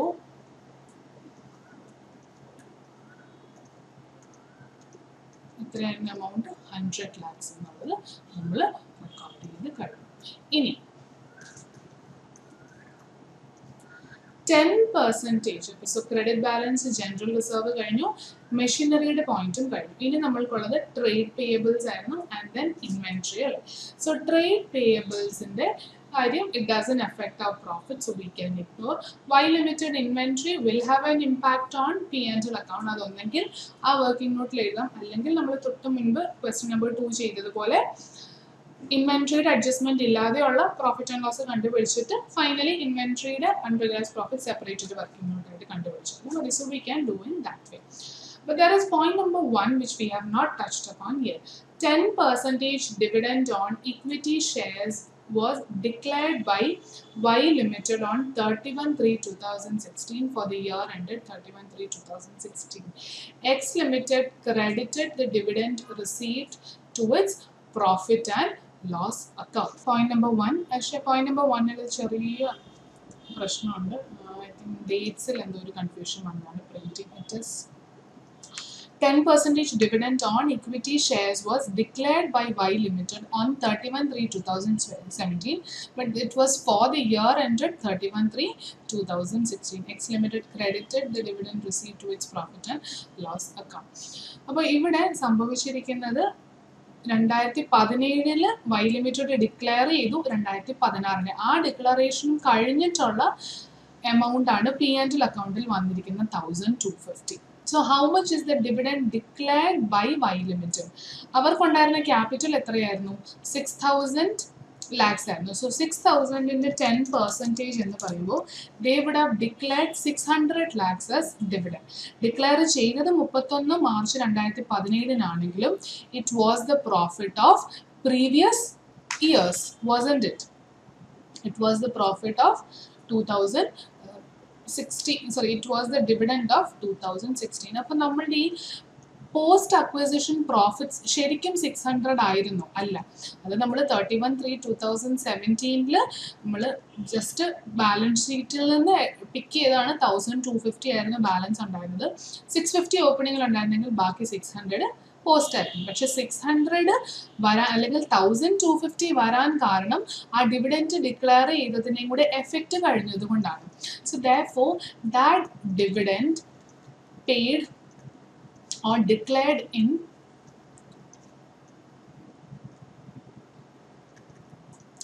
thirty-one seventeen for thirty-one three sixteen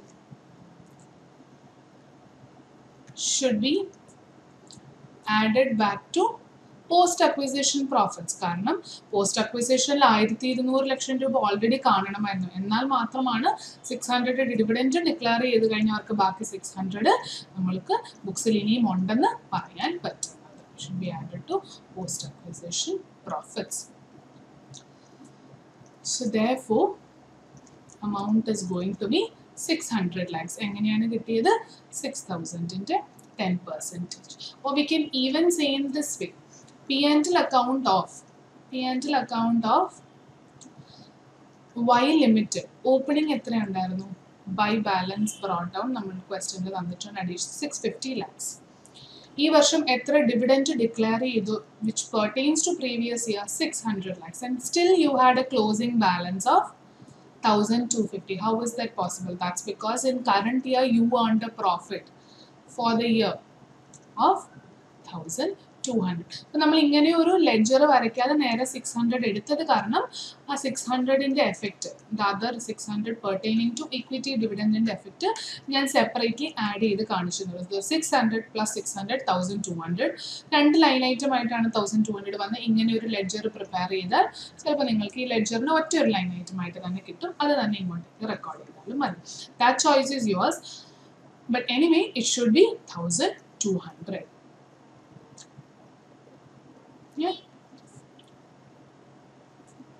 So ഈ സിക്സ് ഹൺഡ്രഡ് നമ്മൾ പി ആൻഡ് എൽ അക്കൗണ്ടിൽ നിന്ന് അഡ്ജസ്റ്റ് ചെയ്തു. Because it was not part of my post acquisition പ്രോഫിറ്റിൽ നിന്ന് അഡ്ജസ്റ്റ് ആവേണ്ട ഒന്നല്ല. Why because it was the dividend of previous year നമ്മളുടെ X limited എന്ന് പറയുന്ന ഹോൾഡിംഗ് കമ്പനി ഹോൾഡിംഗ് സബ്സിഡിയറി ആവുന്നതിന് മുൻപ് ഉണ്ടായിരുന്ന ഒരു ഡിവിഡന്റ് പേയ്മെന്റ് ആയിരുന്നു. ഡിക്ലെയർ ചെയ്തത് കുറച്ച് ലേറ്റ് ആയിട്ടാണെന്ന് മാത്രമേ So it shouldn't affect my post acquisition profit, but it can definitely affect which profit of mine?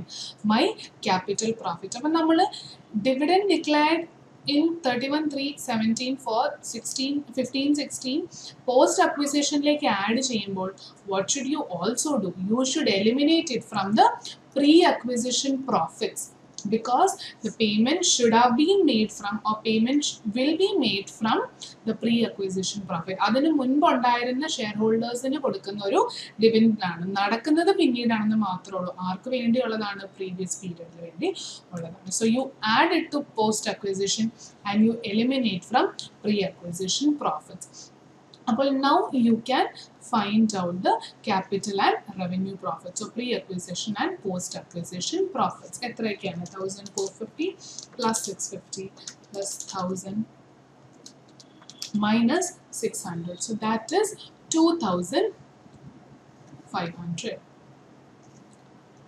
two thousand five hundred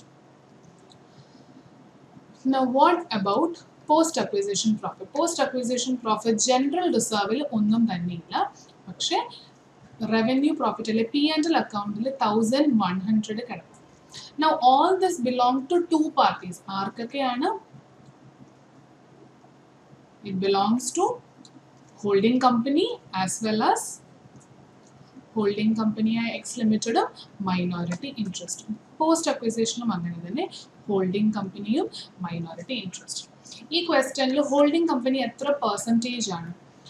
Out of six thousand shares issued by Y limited എത്ര lakh shares ആണ് Y lim X limited acquire ചെയ്ത്? Four fifty ഇത് out of six hundred four fifty acquire ചെയ്തെങ്കിൽ four fifty by six hundred എന്ന് പറയുന്നത് seventy five percentage ആണ്. yeah so therefore 75 percentage and 25 percentage minority interest.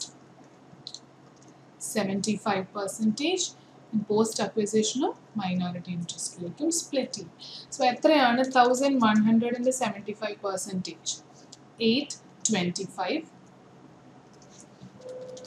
minus 1100 is 275 what about capital profits capital profits on 1875 and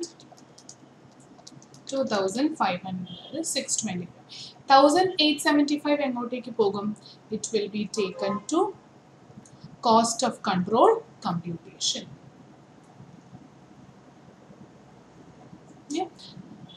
so I hope this working note is clear ഇത്രയും നമ്മൾ record ചെയ്ത് കഴിഞ്ഞു. ഇനി ആ percentage വേണമെങ്കിൽ നിങ്ങൾക്ക് computation ഒരു വർക്കിംഗ് നോട്ടായിട്ട് അഡീഷണൽ വർക്കിംഗ് നോട്ടായിട്ട് എഴുതാം. അല്ലെങ്കിൽ ഈ ഒരു വർക്കിംഗ് നോട്ടിനുള്ളിൽ തന്നെ ആ ഹോൾഡിംഗ് പെർസെന്റേജ് ഒന്ന് കമ്പ്യൂട്ട് ചെയ്ത് എഴുതാം. Yeah. So let us move on to the next working note, which is cost of control computation. So holding percentage just on either holding percentage 450 lakhs divided by 600 lakh shares, 75%. So let us move on and find out working note number 3, cost of control.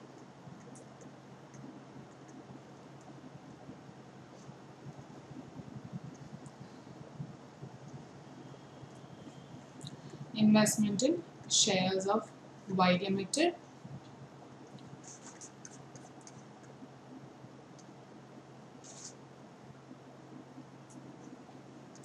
Amount balance ഷീറ്റിലുള്ള six thousand eight hundred lakhs ഇതെല്ലാം ലാക്സിലാണ് അപ്പം ഒരു common heading working നോട്ടിന് മേലെ in lakhs എന്ന് എഴുതിയാൽ മതി.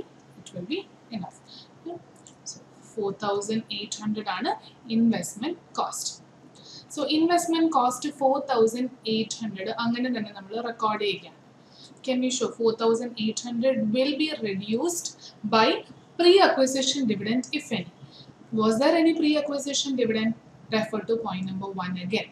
Declare ചെയ്ത dividend pre acquisition profit എന്നാണ് പോസ്റ്റ് അക്വസിഷൻ അല്ല എന്നൊക്കെ നമ്മൾ പറഞ്ഞു അല്ലേ? ആ നെക്സ്റ്റ് ലിമിറ്റഡിന് ഡിവിഡന്റ് കിട്ടുകയും ചെയ്തു. അപ്പോൾ കിട്ടിയെങ്കിൽ ആ ഡിവിഡന്റ് പ്രീ അക്വസിഷൻ ഡിവിഡന്റ് അല്ലേ? Because they were not the shareholders. They became shareholders only on 1 for 2016 അതിന് തൊട്ട് മുൻപുള്ള പീരീഡ് വരെയുള്ള ഡിവിഡൻഡ് ഡിക്ലറേഷൻ നടന്നത് താമസിച്ചത് കൊണ്ട് മാത്രം നെക്സ്റ്റ് ലിമിറ്റഡിന് ഡിവിഡൻഡ് കിട്ടി. അപ്പോൾ they received a dividend which is pre acquisition dividend and how much is the pre acquisition dividend four fifty ലാക്സിന്റെ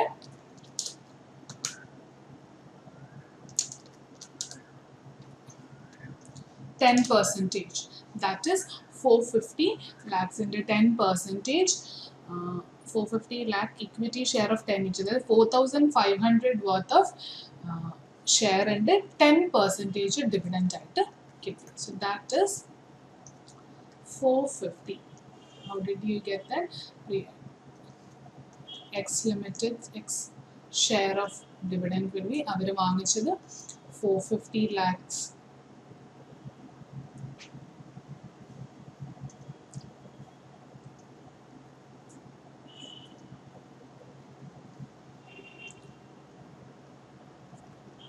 for 50 lakh share in lakhs and a heading of 10 rupees each and 10 percent. So therefore 450 lakhs and a dividend ആയിട്ട് കിട്ടിയത് അപ്പോൾ അത് കുറയും four thousand eight hundred so four thousand eight hundred minus four fifty will be four thousand three fifty adjust it with or compare it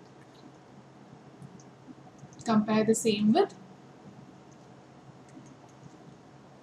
share in net worth of Y limited worth of Y limited എത്രയുണ്ട്? Share capital six thousand അതിന്റെ seventy five percentage and capital profits already നമ്മൾ കണ്ടുപിടിച്ച് വെച്ചിട്ടുണ്ട്. And amount എത്ര ഉണ്ടെന്ന് three thousand five ഹൺഡ്രഡിന് seventy five percentage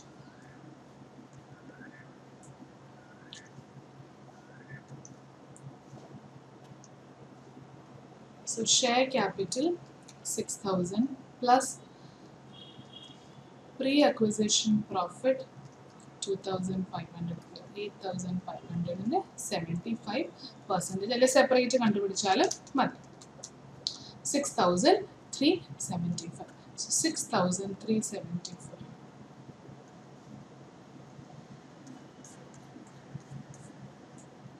six thousand eight hundred ആണ് purchase cost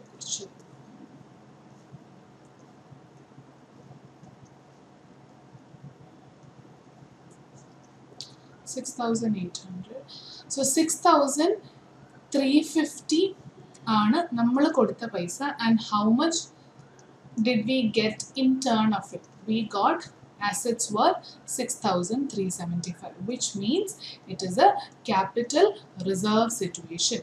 capital reserve to the extent of only 25 lakhs yeah heading in lakhs ആണ് അതുകൊണ്ട് twenty five answer കിട്ടിയാലും do not worry it is twenty five lakhs and it is capital reserve കാരണം നമ്മൾ കൊടുത്തത് ആറായിരത്തി മുന്നൂറ്റി അമ്പതേ ഉള്ളൂ കിട്ടിയത് six thousand three seventy five worth of things or assets Next is working note number 4 to find out quickly unrealized profit. Now quickly going back to unrealized profit Portion ഇവിടെ പറഞ്ഞിരിക്കുന്നത് Y limited inventory included goods അതായത് ആരാണ് ഇപ്പോൾ വിറ്റിരിക്കുന്നത്? X limited head office or holding company sold to subsidiary company so it's a downstream sale downstream sale ആണെങ്കിൽ reduce unrealised profit from ആരുടെ പ്രോഫിറ്റിൽ നിന്ന് P എൻഡിൽ നിന്ന്? ഈ പ്രോഫിറ്റ് ഏൺ ചെയ്ത ആരാണ്? എക്സ് ലിമിറ്റഡ് അല്ലെങ്കിൽ ഹോൾഡിംഗ് അയാളുടെ പ്രോഫിറ്റിൽ നിന്ന് പി എൻഡിൽ നിന്ന് കുറയ്ക്കുക. And also from inventory how much is it one fifty lakhs included goods for one fifty lakhs which it had purchased from X limited X limited sold goods to Y limited at cost plus twenty five percentage So inventory included goods for 150 lakhs. E 150 lakhs into 20 divided by this. So നമ്മൾ assume ചെയ്തിരിക്കുന്നത് one fifty lakhs ആണ് Y ലിമിറ്റഡിന്റെ book goods ഇൻവെൻട്രിയിലുള്ളത് Y ലിമിറ്റഡിന് ഇൻവെൻട്രിയിലുള്ളതെന്ന് വെക്കുമ്പോൾ Y ലിമിറ്റഡിന് കിട്ടിയ പൈസ. That is the cost of Y limited and it is the selling price of X limited so one fifty lakhs in അവരെങ്ങനെയാണ് വിറ്റിരിക്കുന്നത്? Cost plus twenty five percentage so assume cost be hundred so profit will be hundred plus twenty five ഇപ്പോൾ selling price എന്ന് പറയുന്നത് one twenty five ആയിരിക്കും. So what is the unrealised profit in this case unrealised profit is 150 lakhs, the selling price of X Limited into the profit divided by the selling price. So 150 into 25 by 125 we can say it is 30 lakhs. And where do we adjust it from? Reduce this from?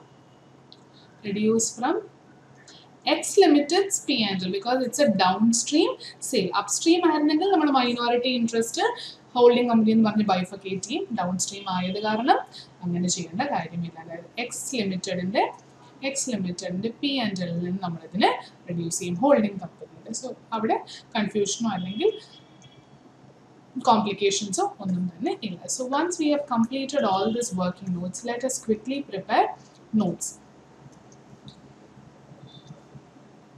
note number one ഇവിടെ note കൊടുക്കുന്നതിന് കാരണം you have issued and authorised capital അപ്പോൾ അതുകൊണ്ട് ആ note ഒന്ന് റഫ്ലി ഒന്ന് കൊടുത്തേക്കുക authorised twenty thousand eight thousand equity share capital what about preference share capital ഇവിടെ നമ്മൾ ഇൻവെസ്റ്റ് ചെയ്തിരിക്കുന്നത് ഇക്വിറ്റി ഷെയറിൽ മാത്രമാണ് പക്ഷെ പ്രിഫറൻസ് ഷെയർ രണ്ടുപേരുടെയും കണക്കിലുണ്ട് അല്ലേ? So what will happen to the preference share of Y limited is there anything mentioned about purchase in preference share of Y limited ഇല്ല. അപ്പോൾ അതിന്റെ അർത്ഥം എക്സ് ലിമിറ്റഡ് ഒരു രൂപ പോലും പ്രിഫറൻസ് ഷെയറിൽ ഇൻവെസ്റ്റ് ചെയ്തിട്ടില്ല. അപ്പോൾ ഒരു രൂപ പോലും പ്രിഫറൻസ് ഷെയറിൽ ഇൻവെസ്റ്റ് ചെയ്തിട്ടില്ലെങ്കിൽ ആരായിരിക്കും invest ചെയ്തിട്ടുണ്ടാവുക? Fully minority interest take it to minority interest so share capital you can give that breakup quickly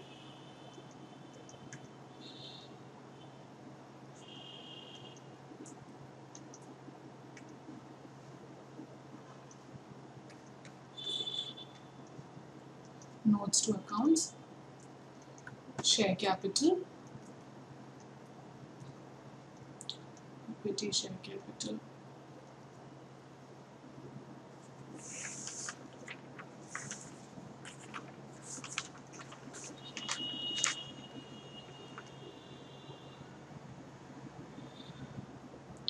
Thousand five hundred.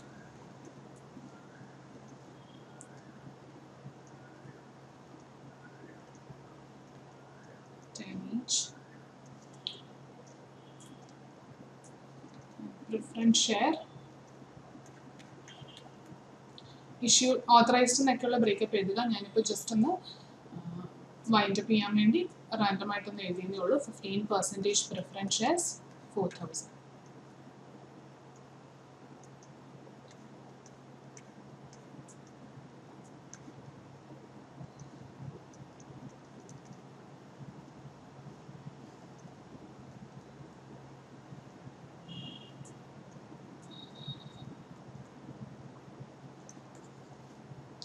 Then you have reserves and surplus.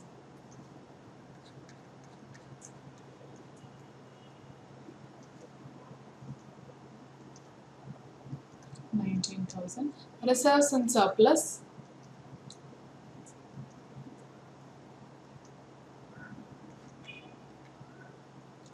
General reserve 2500 on the Y ലിമിറ്റഡിന് നമ്മൾക്ക് working നോട്ടിൽ available ആണ്. So we can pick up from the so general reserve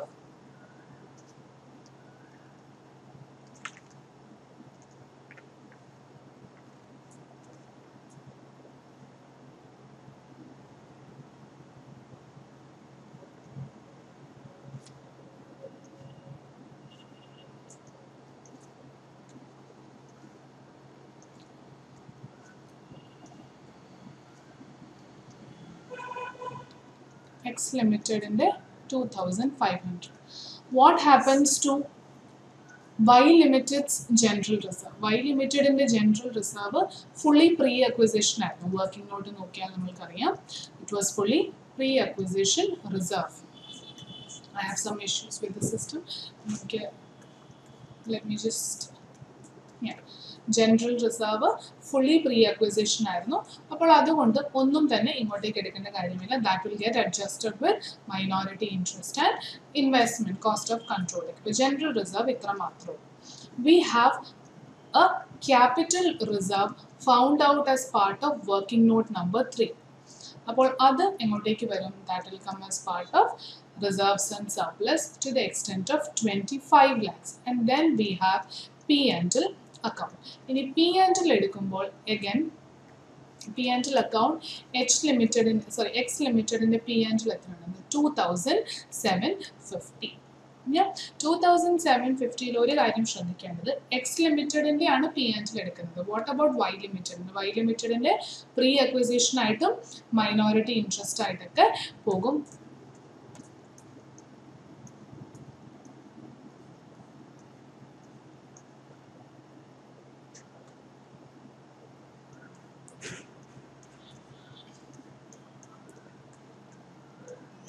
So P and L account X ലിമിറ്റഡിന്റെ already ഉണ്ടായിരുന്ന എത്രയാണ് two thousand seven fifty let's see one more point with regard to point number A. Point number A pre acquisition dividend ആണെന്ന് നമ്മൾക്ക് മനസ്സിലായിട്ടാണ് നമ്മൾ cost of ഇൻവെസ്റ്റ്മെന്റിൽ നിന്ന് adjust ചെയ്തത് അല്ലേ? But when we adjusted it from cost of investment we had another error which was already there in the balance sheet എന്തായിരുന്നു ആ error X limited ഈ dividend കിട്ടി ഉടനെ പി ആൻഡിലേക്ക് ക്രെഡിറ്റ് ചെയ്തു എന്നാണ് പറഞ്ഞത് ആ ക്രെഡിറ്റ് ചെയ്ത എമൗണ്ട് കഴിഞ്ഞതിന് ശേഷമാണ് ടൂ തൗസൻഡ് സെവൻ ഫിഫ്റ്റി വന്നത്. So shouldn't be remove that yes so eliminate so eliminate the dividend received credited wrongly. How much was the amount?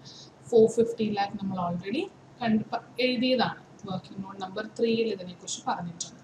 So അതിന് ശേഷമുള്ള ബാക്കി എമൗണ്ട് വിൽ ബി എക്സ് ലിമിറ്റഡിന്റെ profit മാത്രം. ഇനി എന്താണ് അതിലേക്ക് അഡ്ജസ്റ്റ് ആവാനുള്ളത്? വൈ ലിമിറ്റഡിന് വൈ ലിമിറ്റഡിന്റെ ഹോൾഡിംഗ് പെർസെന്റേജ് മാത്രം മൈനോറിറ്റി സെപ്പറേറ്റ്ലി പോകും.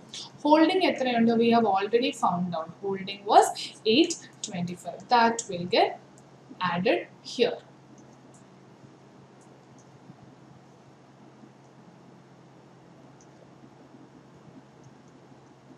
X Limited's share in Y Limited's revenue profits, like post acquisition profits 825 and that is from working note number 2.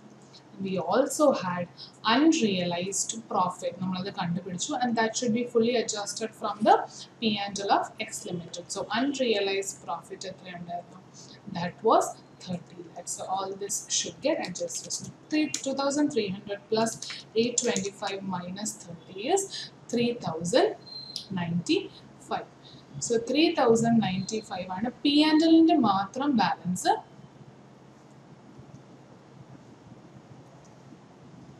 three thousand ninety five plus twenty five plus two thousand five hundred five thousand six fifty is the reserves six twenty is the reserve and surplus of the consolidated balance sheet so അതിനുശേഷം we move on to we move on to minority interest. So minority interest computation എന്തൊക്കെയാണ് വരാൻ പോകുന്നത്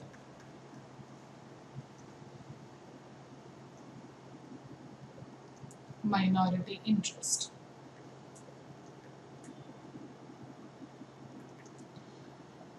Twenty-five percentage of equity share capital. Equity share capital എത്ര ഉണ്ടായിരുന്നു six thousand അപ്പോൾ into twenty five percentage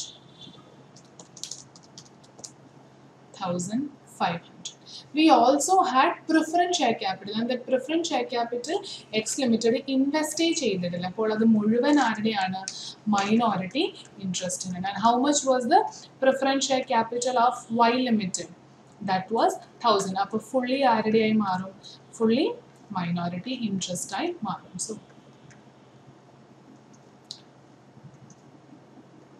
fifteen percentage preference share capital thousand. Then minority ഇൻട്രസ്റ്റിന് കിട്ടിയത് എന്തൊക്കെയായിരുന്നു?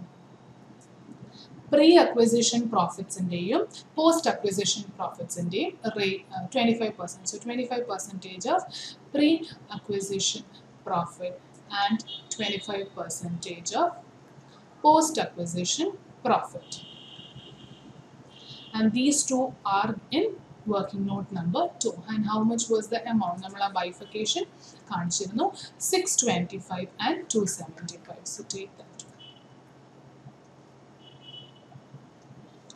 625 and 275 so 1500 plus 1000 plus 625 plus 275 3400 ആണ് minority interest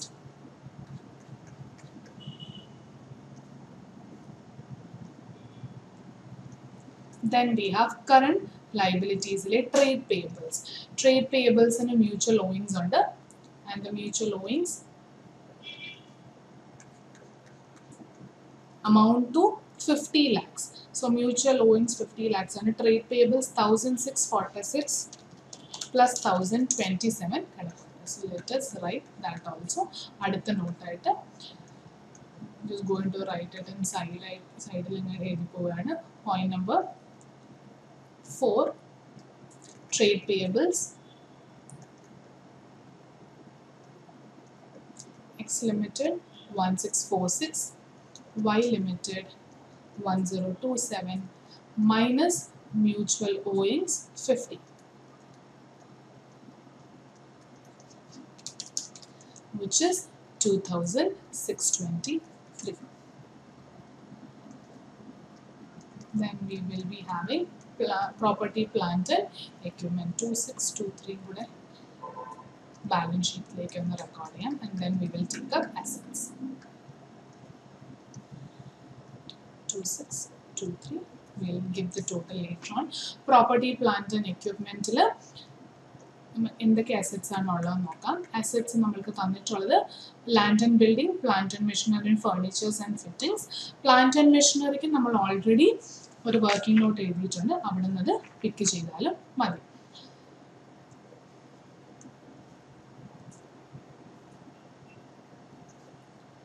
Note number five property plant and equipment land and building X limited and Y limited three thousand five fifty plus thousand five ten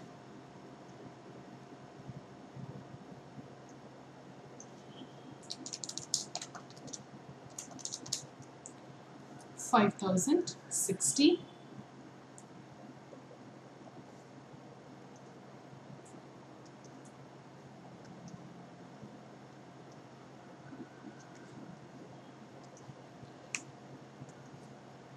Plant and Machinery, X Limited and Y Limited, 5275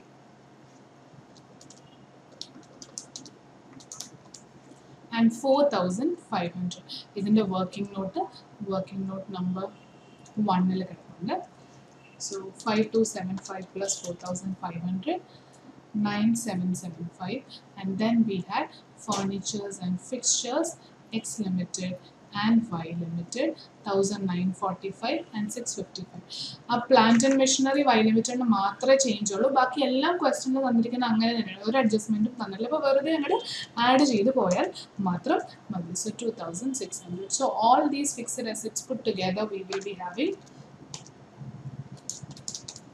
seventeen thousand four thirty five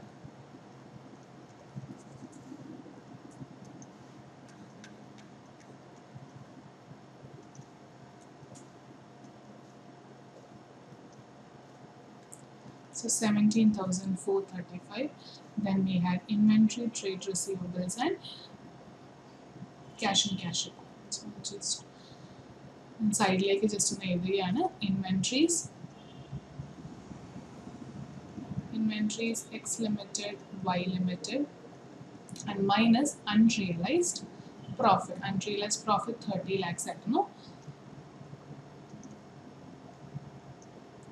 what is inventory given in question 4142 and 2520. 4142 and 2520.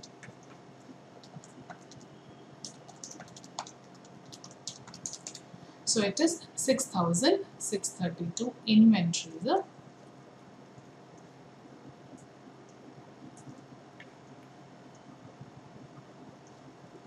6,632. We have trade receivables.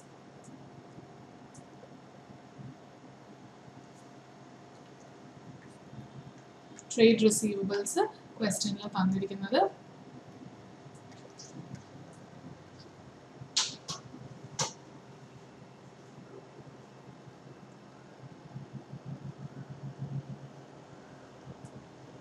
Three thousand ten and 182 which is 4892 minus mutual owings trade പേബിൾസിൽ നിന്ന് നമ്മൾ കുറച്ചിരുന്നു അത് കുറയ്ക്കുക fifty lakhs so therefore three thousand ten plus thousand eight eighty two minus fifty is four thousand eight forty two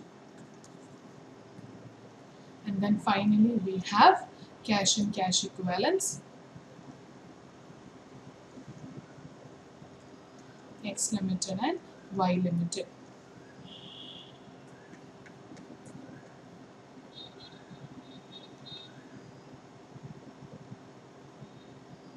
1174 and 560. 1174 and 560 is 1734.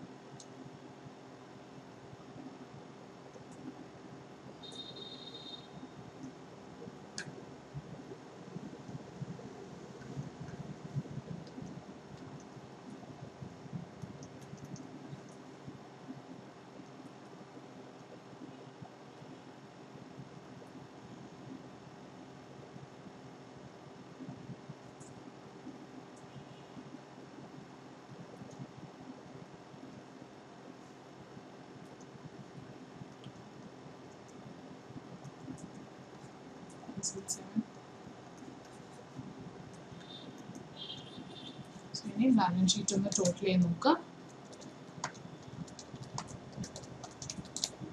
thirty thousand six forty three asset side in the total. Let's see liability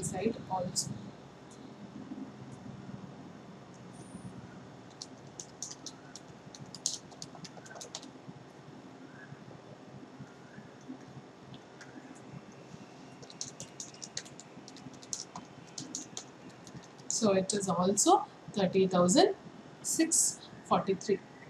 So with that, നമുക്ക് ഈ balance ഷീറ്റും consolidated balance ഷീറ്റും tally ചെയ്യാൻ കിട്ടും there are some issues with the screen അതുകൊണ്ടാണ് കുറച്ച് stuck ആവുകയും I had to write in between so I hope it is clear but when you are attempting എക്സാമിന് നമ്മൾ അറ്റംപ്റ്റ് ചെയ്യുമ്പോൾ എന്തായാലും അതൊന്ന് ശ്രദ്ധിച്ചിട്ട് എഴുതുക. ആവശ്യത്തിന് സ്പേസ് കൺസോളിഡേറ്റഡ് മെയിൻ ആൻസറിനും നോട്ട്സ് ടു അക്കൗണ്ട്സിനും കൊടുക്കുക എന്നിട്ട് വർക്കിംഗ് നോട്ട് എഴുതുക had certain limitations that's why I had to uh, include everything uh, right by side by side ആയിട്ടൊക്കെ എഴുതേണ്ടി വന്നത് so just make sure that uh, when you are writing you follow a proper pattern yeah? so total is 30,640 so with that we complete this question also. So uh, consolidated balance sheet ആയിരിക്കും majority of the times ചോദിക്കാൻ സാധ്യതയുള്ളത്. And also നമ്മൾ ചെയ്തതുപോലെ repeated type of questions തന്നെയായിരിക്കും. ഈ ഒരു question number വണ്ണിൽ dividend ചോദിച്ചിരുന്നു. അത് നമ്മൾ ഇത്ര നേരം ചെയ്തില്ല സോ ഈ ഒരു ക്വസ്റ്റ്യൻ വളരെ ഇമ്പോർട്ടന്റ് ആയിട്ട് തന്നെ ട്രീറ്റ് ചെയ്യുക. നമ്മൾ പഠിച്ച ആസ്പെക്ട്സ് എല്ലാം തന്നെ കവർ ചെയ്യുന്ന ഒരു ക്വസ്റ്റ്യൻ ആണ്. Pre acquisition dividend minority interest cost of control and everything intra company owings intra company transactions intra group transactions എല്ലാം വരുന്നൊരു area. Yeah, so I hope that is clear to you. I had taken up one more question uh, from RTP. അത് May two thousand twenty R T P ആണ് same type of question നമ്മൾ ചെയ്തതുപോലെ തന്നെയാണ് question അപ്പോൾ നിങ്ങൾക്ക് തനിയെ try out ചെയ്യാവുന്നതേ ഉള്ളൂ. May two thousand twenty T P just give it a try balance sheet preparation ആണ്. അതിന്റെ ഗുഡ് വിൽ കമ്പ്യൂട്ടേഷൻ അതിന്റെ cost of control thirty thousand ആണ്. ഇനി എന്തെങ്കിലും ഡൗട്ട് ഉണ്ടെങ്കിൽ May two thousand twenty R T P ഒന്ന് എടുത്ത് നോക്കിക്കഴിഞ്ഞാൽ ഡീറ്റെയിൽ ആയിട്ട് എക്സ്പ്ലെയിൻ ചെയ്തതാണ്. So you can try out on your own. And if you have any queries you can just refer that also and if still it is not clear to you you can let me know. and then we will try to sort it out yeah so with that we are going to wind up all the questions from consolidated financial statement chapter consolidated p&l uh, sorry uh, cash flow statement ഒക്കെ ഉണ്ട് cash flow statement ഒക്കെ mere addition ആണ് majority exam point of വ്യൂവിൽ വരാൻ സാധ്യതയുള്ള areas നമ്മളെല്ലാം തന്നെ cover ചെയ്തിട്ടുണ്ട് so I hope this chapter is clear to you. And if you face any difficulty, do let me know. So till we meet again, stay safe and happy. Thank you.